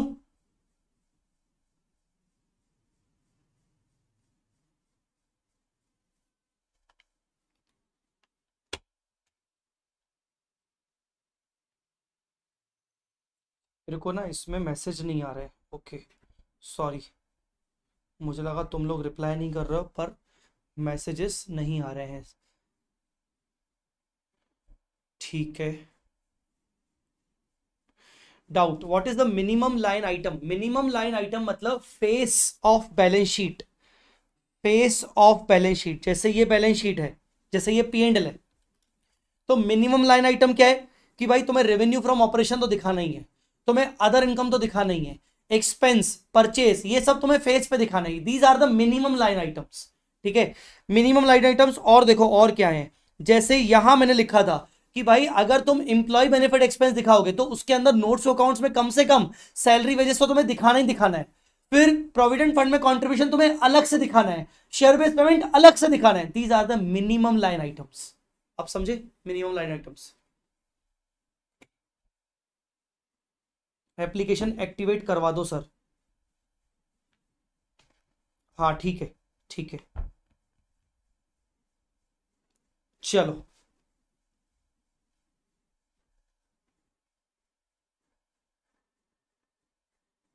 नहीं बेटा ऋषभ कोई न्यू नहीं है। क्वेश्चन बैंक लगभग वैसा ही है, पूरा ये लगभग, ठीक है? बस थोड़े से अपडेशन उसमें, नए क्वेश्चंस आए होंगे तो अलग बात है, बाकी वही है। चलिए। हाँ आ जाओ। सबसे पहले Ind AS one presentation of financial statement general purpose financial statements के लिए अप्लीकेबल होता है इंडियस किसी भी स्पेसिफिक रिक्वायरमेंट के हिसाब से अगर कोई फाइनेंशियल स्टेटमेंट्स बनाए जाएँगे तो इंडियस नहीं लगेगा। जनरल पर्पस फाइनेंशियल स्टेटमेंट्स मतलब ऐसे फाइनेंशियल स्टेटमेंट जो उन यूज़र्स के लिए बनाए जाते हैं जिन यूज़र्स को कस्टमाइज रिपोर्ट से मतलब नहीं है। ये फाइनेंशियल ये इंडियस के अंदर Uh, कौन सी टर्मिनोलॉजी यूज़ की गई है? प्रॉफिट ओरिएंटेड एंटिटीज के हिसाब से टर्मिनोलॉजी यूज़ की गई है पर नॉन प्रॉफिट एंटिटीज भी अपनी टर्मिनोलॉजी में चेंजेस कर सकते हैं। ये फाइनेंशियल स्टेटमेंट ये Ind AS one condensed interim financial statements के ऊपर एप्लीकेबल नहीं होगा as far as structure and content is applicable उसके बाद मटेरियलिटी किसी भी इंफॉर्मेशन को मटेरियल कब कहा जाएगा? इंफॉर्मेशन को मटेरियल तब कहा जाएगा जब उसका ओमिशन करने से मिस स्टेट करने से ऑब्सक्योर करने से यूज़र के डिसीज़न पर इंफ्लुएंस हो यूज़र का डिसीज़न अफेक्ट हो, उसको इंफॉर्मेशन को मटेरियल कहा जाएगा। अच्छा ऑब्सक्योर मतलब क्या होता है? किसी भी इंफॉर्मेशन को ऑब्सक्योर तब बोला जाएगा जब उसमें जो लैंग्वेज यूज़ की गई है फाइनेंशियल स्टेटमेंट्स में इंफॉर्मेशन की ऐसी लैंग्वेज है which is unclear which is vague या फिर इंफॉर्मेशन को स्कैटर किया गया है through various various places scattered throughout the financial statements या फिर इंफॉर्मेशन इस तरीके से दिखाई गई है कि जो डिसिमिलर आइटम्स हैं, उनको सिमिलर कर दिया गया है जानबूझ के इनअप्रोप्रिएटली या सिमिलर आइटम्स को एग्रीगेट करना चाहिए उसको डिसएग्रीगेट कर दिया गया है। तो डिससिमिलर आइटम्स को अग्रीगेट कर दिया गया है या सिमिलर आइटम्स को डिसएग्रीगेट कर दिया गया है ताकि ताकि इंफॉर्मेशन को छुपाया जा सके। और last but not the least financial statements की अंडरस्टैंडेबिलिटी को रिड्यूस करने का टारगेट किया जा रहा है by disclosing so many immaterial information to hide material information इसको कहते हैं ऑब्सक्योर नोट्स टू अकाउंट्स में एडिशनल इंफॉर्मेशन आएगा शेड्यूल्स आएँगे, ये सब आएगा। Other comprehensive income very very important other comprehensive income OCI मतलब ऐसे इनकम्स और ऐसे expenses which are not required to be transfer to P and L by any Ind AS are to be transfer to the other equity through OCI जिन items of income और expense को मुझे other equity में डालना है, पर मैं PNL में नहीं डाल सकता तो मैं उसको ओसीआई के थ्रू लेके जाऊँगा, मैं डायरेक्टली अदर इक्विटी में नहीं भगाऊँगा। ठीक है? ओसीआई को दो हिस्सों में दिखाया जा सकता है एनआरपीएल और आरपीएल एनआरपीएल मतलब ऐसे आइटम जो कभी भी पीएनएल में रिक्लासीफाई नहीं होंगे आरपीएल मतलब जो पीएनएल में क्लासीफाई हो सकते हैं। ठीक है? रिक्लासिफिकेशन एडजस्टमेंट का मतलब यही होता है कि ओसीआई को हम पीएनएल में रिक्लासीफाई कर सकते हैं। कंपोनेंट्स ऑफ़ फाइनेंशियल स्टेटमेंट में सेवन कंपोनेंट्स होते हैं बैलेंस शीट करंट ईयर का करंट ईयर का profit and loss including OCI current year का सोकी करंट ईयर का कैश फ्लो करंट ईयर के नोट्स अकाउंट्स फिर कंपैरेटिव इंफॉर्मेशन प्रीवियस ईयर का और ओपनिंग इंडियस बैलेंस शीट अगर कोई रिट्रोस्पेक्टिव रीस्टेटमेंट हो रहा है या फिर अकाउंटिंग पॉलिसी चेंज हो रही है तो। एंटिटी जब अपने फाइनेंशियल स्टेटमेंट्स बनाएगी तो हमेशा एक्सप्लिसिट और unreserved statement of compliance with Ind AS देगी। मतलब ये हुआ कि एंटिटी को सारे के सारे इंडियस फॉलो करने पड़ेंगे। एंटिटी सिलेक्टिव uh, बेसिस पे इंडियस फॉलो नहीं कर सकती। हाँ हालाँकि ये भी इंडियस वन कहता है कि अगर फाइनेंशियल स्टेटमेंट को इंडियस के हिसाब से बनाने पर या इंडियस की किसी एक रिक्वायरमेंट को फॉलो करने पर फाइनेंशियल स्टेटमेंट्स मिसलीड हो रहे हैं तो एंटिटी चाहे तो वो पर्टिकुलर रिक्वायरमेंट से डेविएट कर सकती है सब्जेक्ट टू सम कंडीशंस ठीक है? इन अप्रोप्रिएट अकाउंटिंग पॉलिसी को अगर मुझे रेक्टिफाई करना है तो मैं डिस्क्लोजर से रेक्टिफाई नहीं कर सकता। मुझे उसको रेक्टिफाई करना है बाय वे ऑफ़ अकाउंटिंग मुझे उसके लिए opening Ind AS balance sheet बनाना पड़ेगा। मुझे उसका प्रॉपरली रिट्रोस्पेक्टिव इफ़ेक्ट करना पड़ेगा। ठीक है? फाइनेंशियल स्टेटमेंट्स को हमेशा हमें गोइंग कंसर्न अजम्पशन के बेसिस पर ही बनाना पड़ेगा। जब तक एंटिटी के पास ये सिग्निफिकेंट डाउट ना आ जाए अपनी एबिलिटी के ऊपर कि वो गोइंग कंसर्न नहीं कर पाएँगे, वो अपने बिज़नेस को गोइंग कंसर्न बेसिस पे नहीं चला पाएँगे। जब एंटिटी के पास ये सिग्निफिकेंट डाउट आ जाएगा on its ability to continue as a going concern तो ऐसे केस में एंटिटी अपने फाइनेंशियल स्टेटमेंट्स को विदाउट गोइंग कंसर्न असम्पशन पे बनाएगी असेट्स को रियलाइजेबल वैल्यू पे दिखाएगी लाइब्रेरीज को सेटलमेंट वैल्यू पे दिखाएगी और ये फैक्ट बताएगी डिस्क्लोज करेगी। गोइंग कंसर्न अजम्पशन के लिए जब अपनी एंटिटी अपनी एबिलिटी चेक करेगी कि हम मिनिमम कितना समय कंटिन्यू कर सकते हैं तो उसमें अगर मिनिमम ट्वेल्व मंथ्स कंटिन्यू हो पा रहे हैं तो माना जाएगा कि वो गोइंग कंसर्न है। फाइनेंशियल स्टेटमेंट्स को हमेशा अक्रूवल बेसिस पे बनाना ज़रूरी है। फाइनेंशियल स्टेटमेंट्स के अंदर आप किसी भी असेट और लाइबिलिटी को सेट ऑफ़ नहीं कर सकते, जब तक आपको कोई इंडेस अलाउ ना करे। इनकम और एक्सपेंस को सेट ऑफ़ नहीं कर सकते, जब तक कोई इंडेस अलाउ ना करे। पर कुछ असेट्स पे के अन, आ, कुछ असेट्स को आप जब दिखाते हो तो नेट बेसिस पे दिखाते हो जैसे डेटर्स में से प्रोविज़न माइनस करके दिखाते हो पीपी में से डेप्रेशन माइनस करके दिखाते हो इसको सेट ऑफ़ नहीं कहा जाता है ठीक है? और फ्रीक्वेंसी मिनिमम 12 मंथ्स के फाइनेंशियल स्टेटमेंट्स बनेंगे ही बनेंगे। जब भी आप कोई प्रेजेंटेशन में चेंजेस करते हो करंट ईयर में क्लासिफिकेशन में चेंजेस करते हो तो आपको कंपैरेटिव फिगर्स भी चेंज करने पड़ेंगे। कंपैरेटिव में भी सेम चेंजेस होंगे करंट ईयर के हिसाब से। अगर आप कोई प्रेजेंटेशन या क्लासिफिकेशन चला रहे हो तो उसको कंसिस्टेंट बेसिस पे फॉलो करो। हाँ हाँ उसको आप चेंज कर सकते हो when it is when such change is required by any Ind AS और when such change is the is the um, appropriate change अगर it is apparent that such change would be more appropriate structure and content of financial statement कुछ खास नहीं था। आपका आपको minimum से minimum आपका एंटिटी का नाम हर फाइनेंशियल स्टेटमेंट्स में एंटिटी का नाम एंटिटी के स्टैंड अलोन है कि कंसोलिडेट है? और रिपोर्टिंग पीरियड कितना है? Date of ending of reporting period क्या है? ये सब दिखाना पड़ेगा। करेंसी कौन सी यूज़ किया गया है? राउंडिंग ऑफ़ कितना यूज़ किया गया है? ठीक है? हमेशा क्लासिफिकेशन करंट नॉन करंट के बेसिस पर होगा। बट अगर उससे बेहतर तरीका आपके पास है लिक्विडिटी बेसिस अगर आप करना चाह रहे हो और एंटिटी को लगता है कि वो मोर रिलायबल और रेलिवेंट है तो वो वो अलाउड है। ठीक है? ये वाली चीज़ें मैं आपके साथ बाद में बात करूँगा। उसके बाद रीफाइनेंसिंग अगर शॉर्ट टर्म लोन को लॉन्ग टर्म के लिए एक्सटेंड किया जा रहा है रीफाइनेंसिंग किया जा रहा है तो आपको देखना है कि बैलेंस शीट डेट पर रीफाइनेंसिंग हो रहा है कि बैलेंस शीट डेट के बाद हो रहा है? बैलेंस शीट डेट पर कुछ भी नहीं था बैलेंस शीट डेट के बाद ही पूरा पूरा एग्रीमेंट हुआ है तो उसको नॉन एडजस्टिंग इवेंट मानते हुए बैलेंस शीट डेट पे तो आप उसको करंट ही ट्रीट करोगे। अगले साल आप क्लासिफिकेशन चेंज कर सकते हो। पर बैलेंस शीट डेट पर प्री अप्रूव्ड बैंक आपको कर चुका था, आपको बैंक अप्रूव कर चुका था, बस आपकी तरफ़ से अभी पेंडिंग है। तो आपको क्या लगता है? आपको लगता है कि आप इसको रिफाइनेंसिंग करोगे? हाँ तो आप क्लासिफिकेशन नॉन करंट में ले जाओगे। आपको लगता है कि नहीं, आप रिफाइनेंसिंग का डिसीज़न नहीं लेने वाले हो तो आप उसको कंटिन्यू करंट में ही करोगे। ये वाला पॉइंट छुड़वा दिया था। फिर उसके बाद प्रॉफिट एंड लॉस ये वाला सब पॉइंट्स फालतू थे। ठीक है? एक्स्ट्रॉर्डनरी आइटम्स को प्रोहिबिट किया गया है। क्रिटिकल जजमेंट्स को हमें सेपरेटली डिस्क्लोज करना है और सारे के सारे एस्टिमेशंस जिन एस्टिमेशंस को लेने के बाद भी हमें लगता है कि आगे चल के एस्टिमेशंस बदले बदल सकते हैं जिसके कारण उनकी असेट की असेट लाइबिलिटी की वैल्यू चेंज हो जाएगी। तो उन एस्टिमेट्स को भी हमें डिस्क्लोज करना पड़ेगा। It. So this was in days one Ind AS one के कुछ पॉइंट्स बच गए वो मैं कल डिस्कस कर लूँगा। और इसके अलावा क्वेश्चंस बच गए। क्वेश्चंस भी हम कल डिस्कस करेंगे। स्टार्टिंग के दो तीन क्वेश्चंस मैंने आपको दिए हैं। प्लीज़ एक बार उसको ट्राई करके आइएगा ताकि आपको कोई तकलीफ़ ना आए। जो भी डाउट आएगा, वो मैं कल डिस्कस कर लूँगा। ठीक है? चलिए। सर एक पॉइंट बच गई। मैंने कहा था कि मैं सेकंड वाली क्लास में आपके साथ वो डिस्कस करूँगा। मैं आपको बताऊँगा कि ऐप पे कैसे प्ले होना है, वो सब क्या होना है। कई कल का टाइम दे दीजिए, क्योंकि आज वर्किंग डे नहीं है संडे नहीं आज संडे है तो मैं अपने टीम के साथ कनेक्ट नहीं हो पाऊँगा। तो मैं आज पूरी कोशिश करूँगा या मैं कल लेक्चर के दौरान ही मैं अपनी टीम को भी लेके आऊँगा और कोशिश करूँगा कि मैं आपको एक ऐप का फ़ंक्शन बता दूँ कि कैसे रन होगा और क्या होगा, ठीक है? उसके लिए मुझे थोड़ा सा टाइम चाहिए, तब तक आप कंटिन्यू कर सकते हो यूट्यूब पे ही। यूट्यूब पे स्टार्टिंग के पाँच लेक्चर होंगे, बिल्कुल घबराने की ज़रूरत नहीं है, ठीक है? चलिए, क्या हम अपना यहीं पर लेक्चर खत्म कर सकते हैं? करें over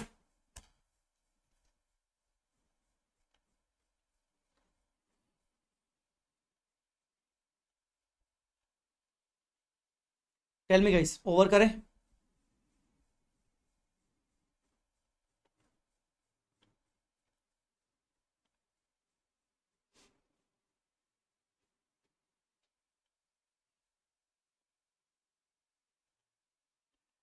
Okay okay. हाँ जूम कॉल आज रहेगा।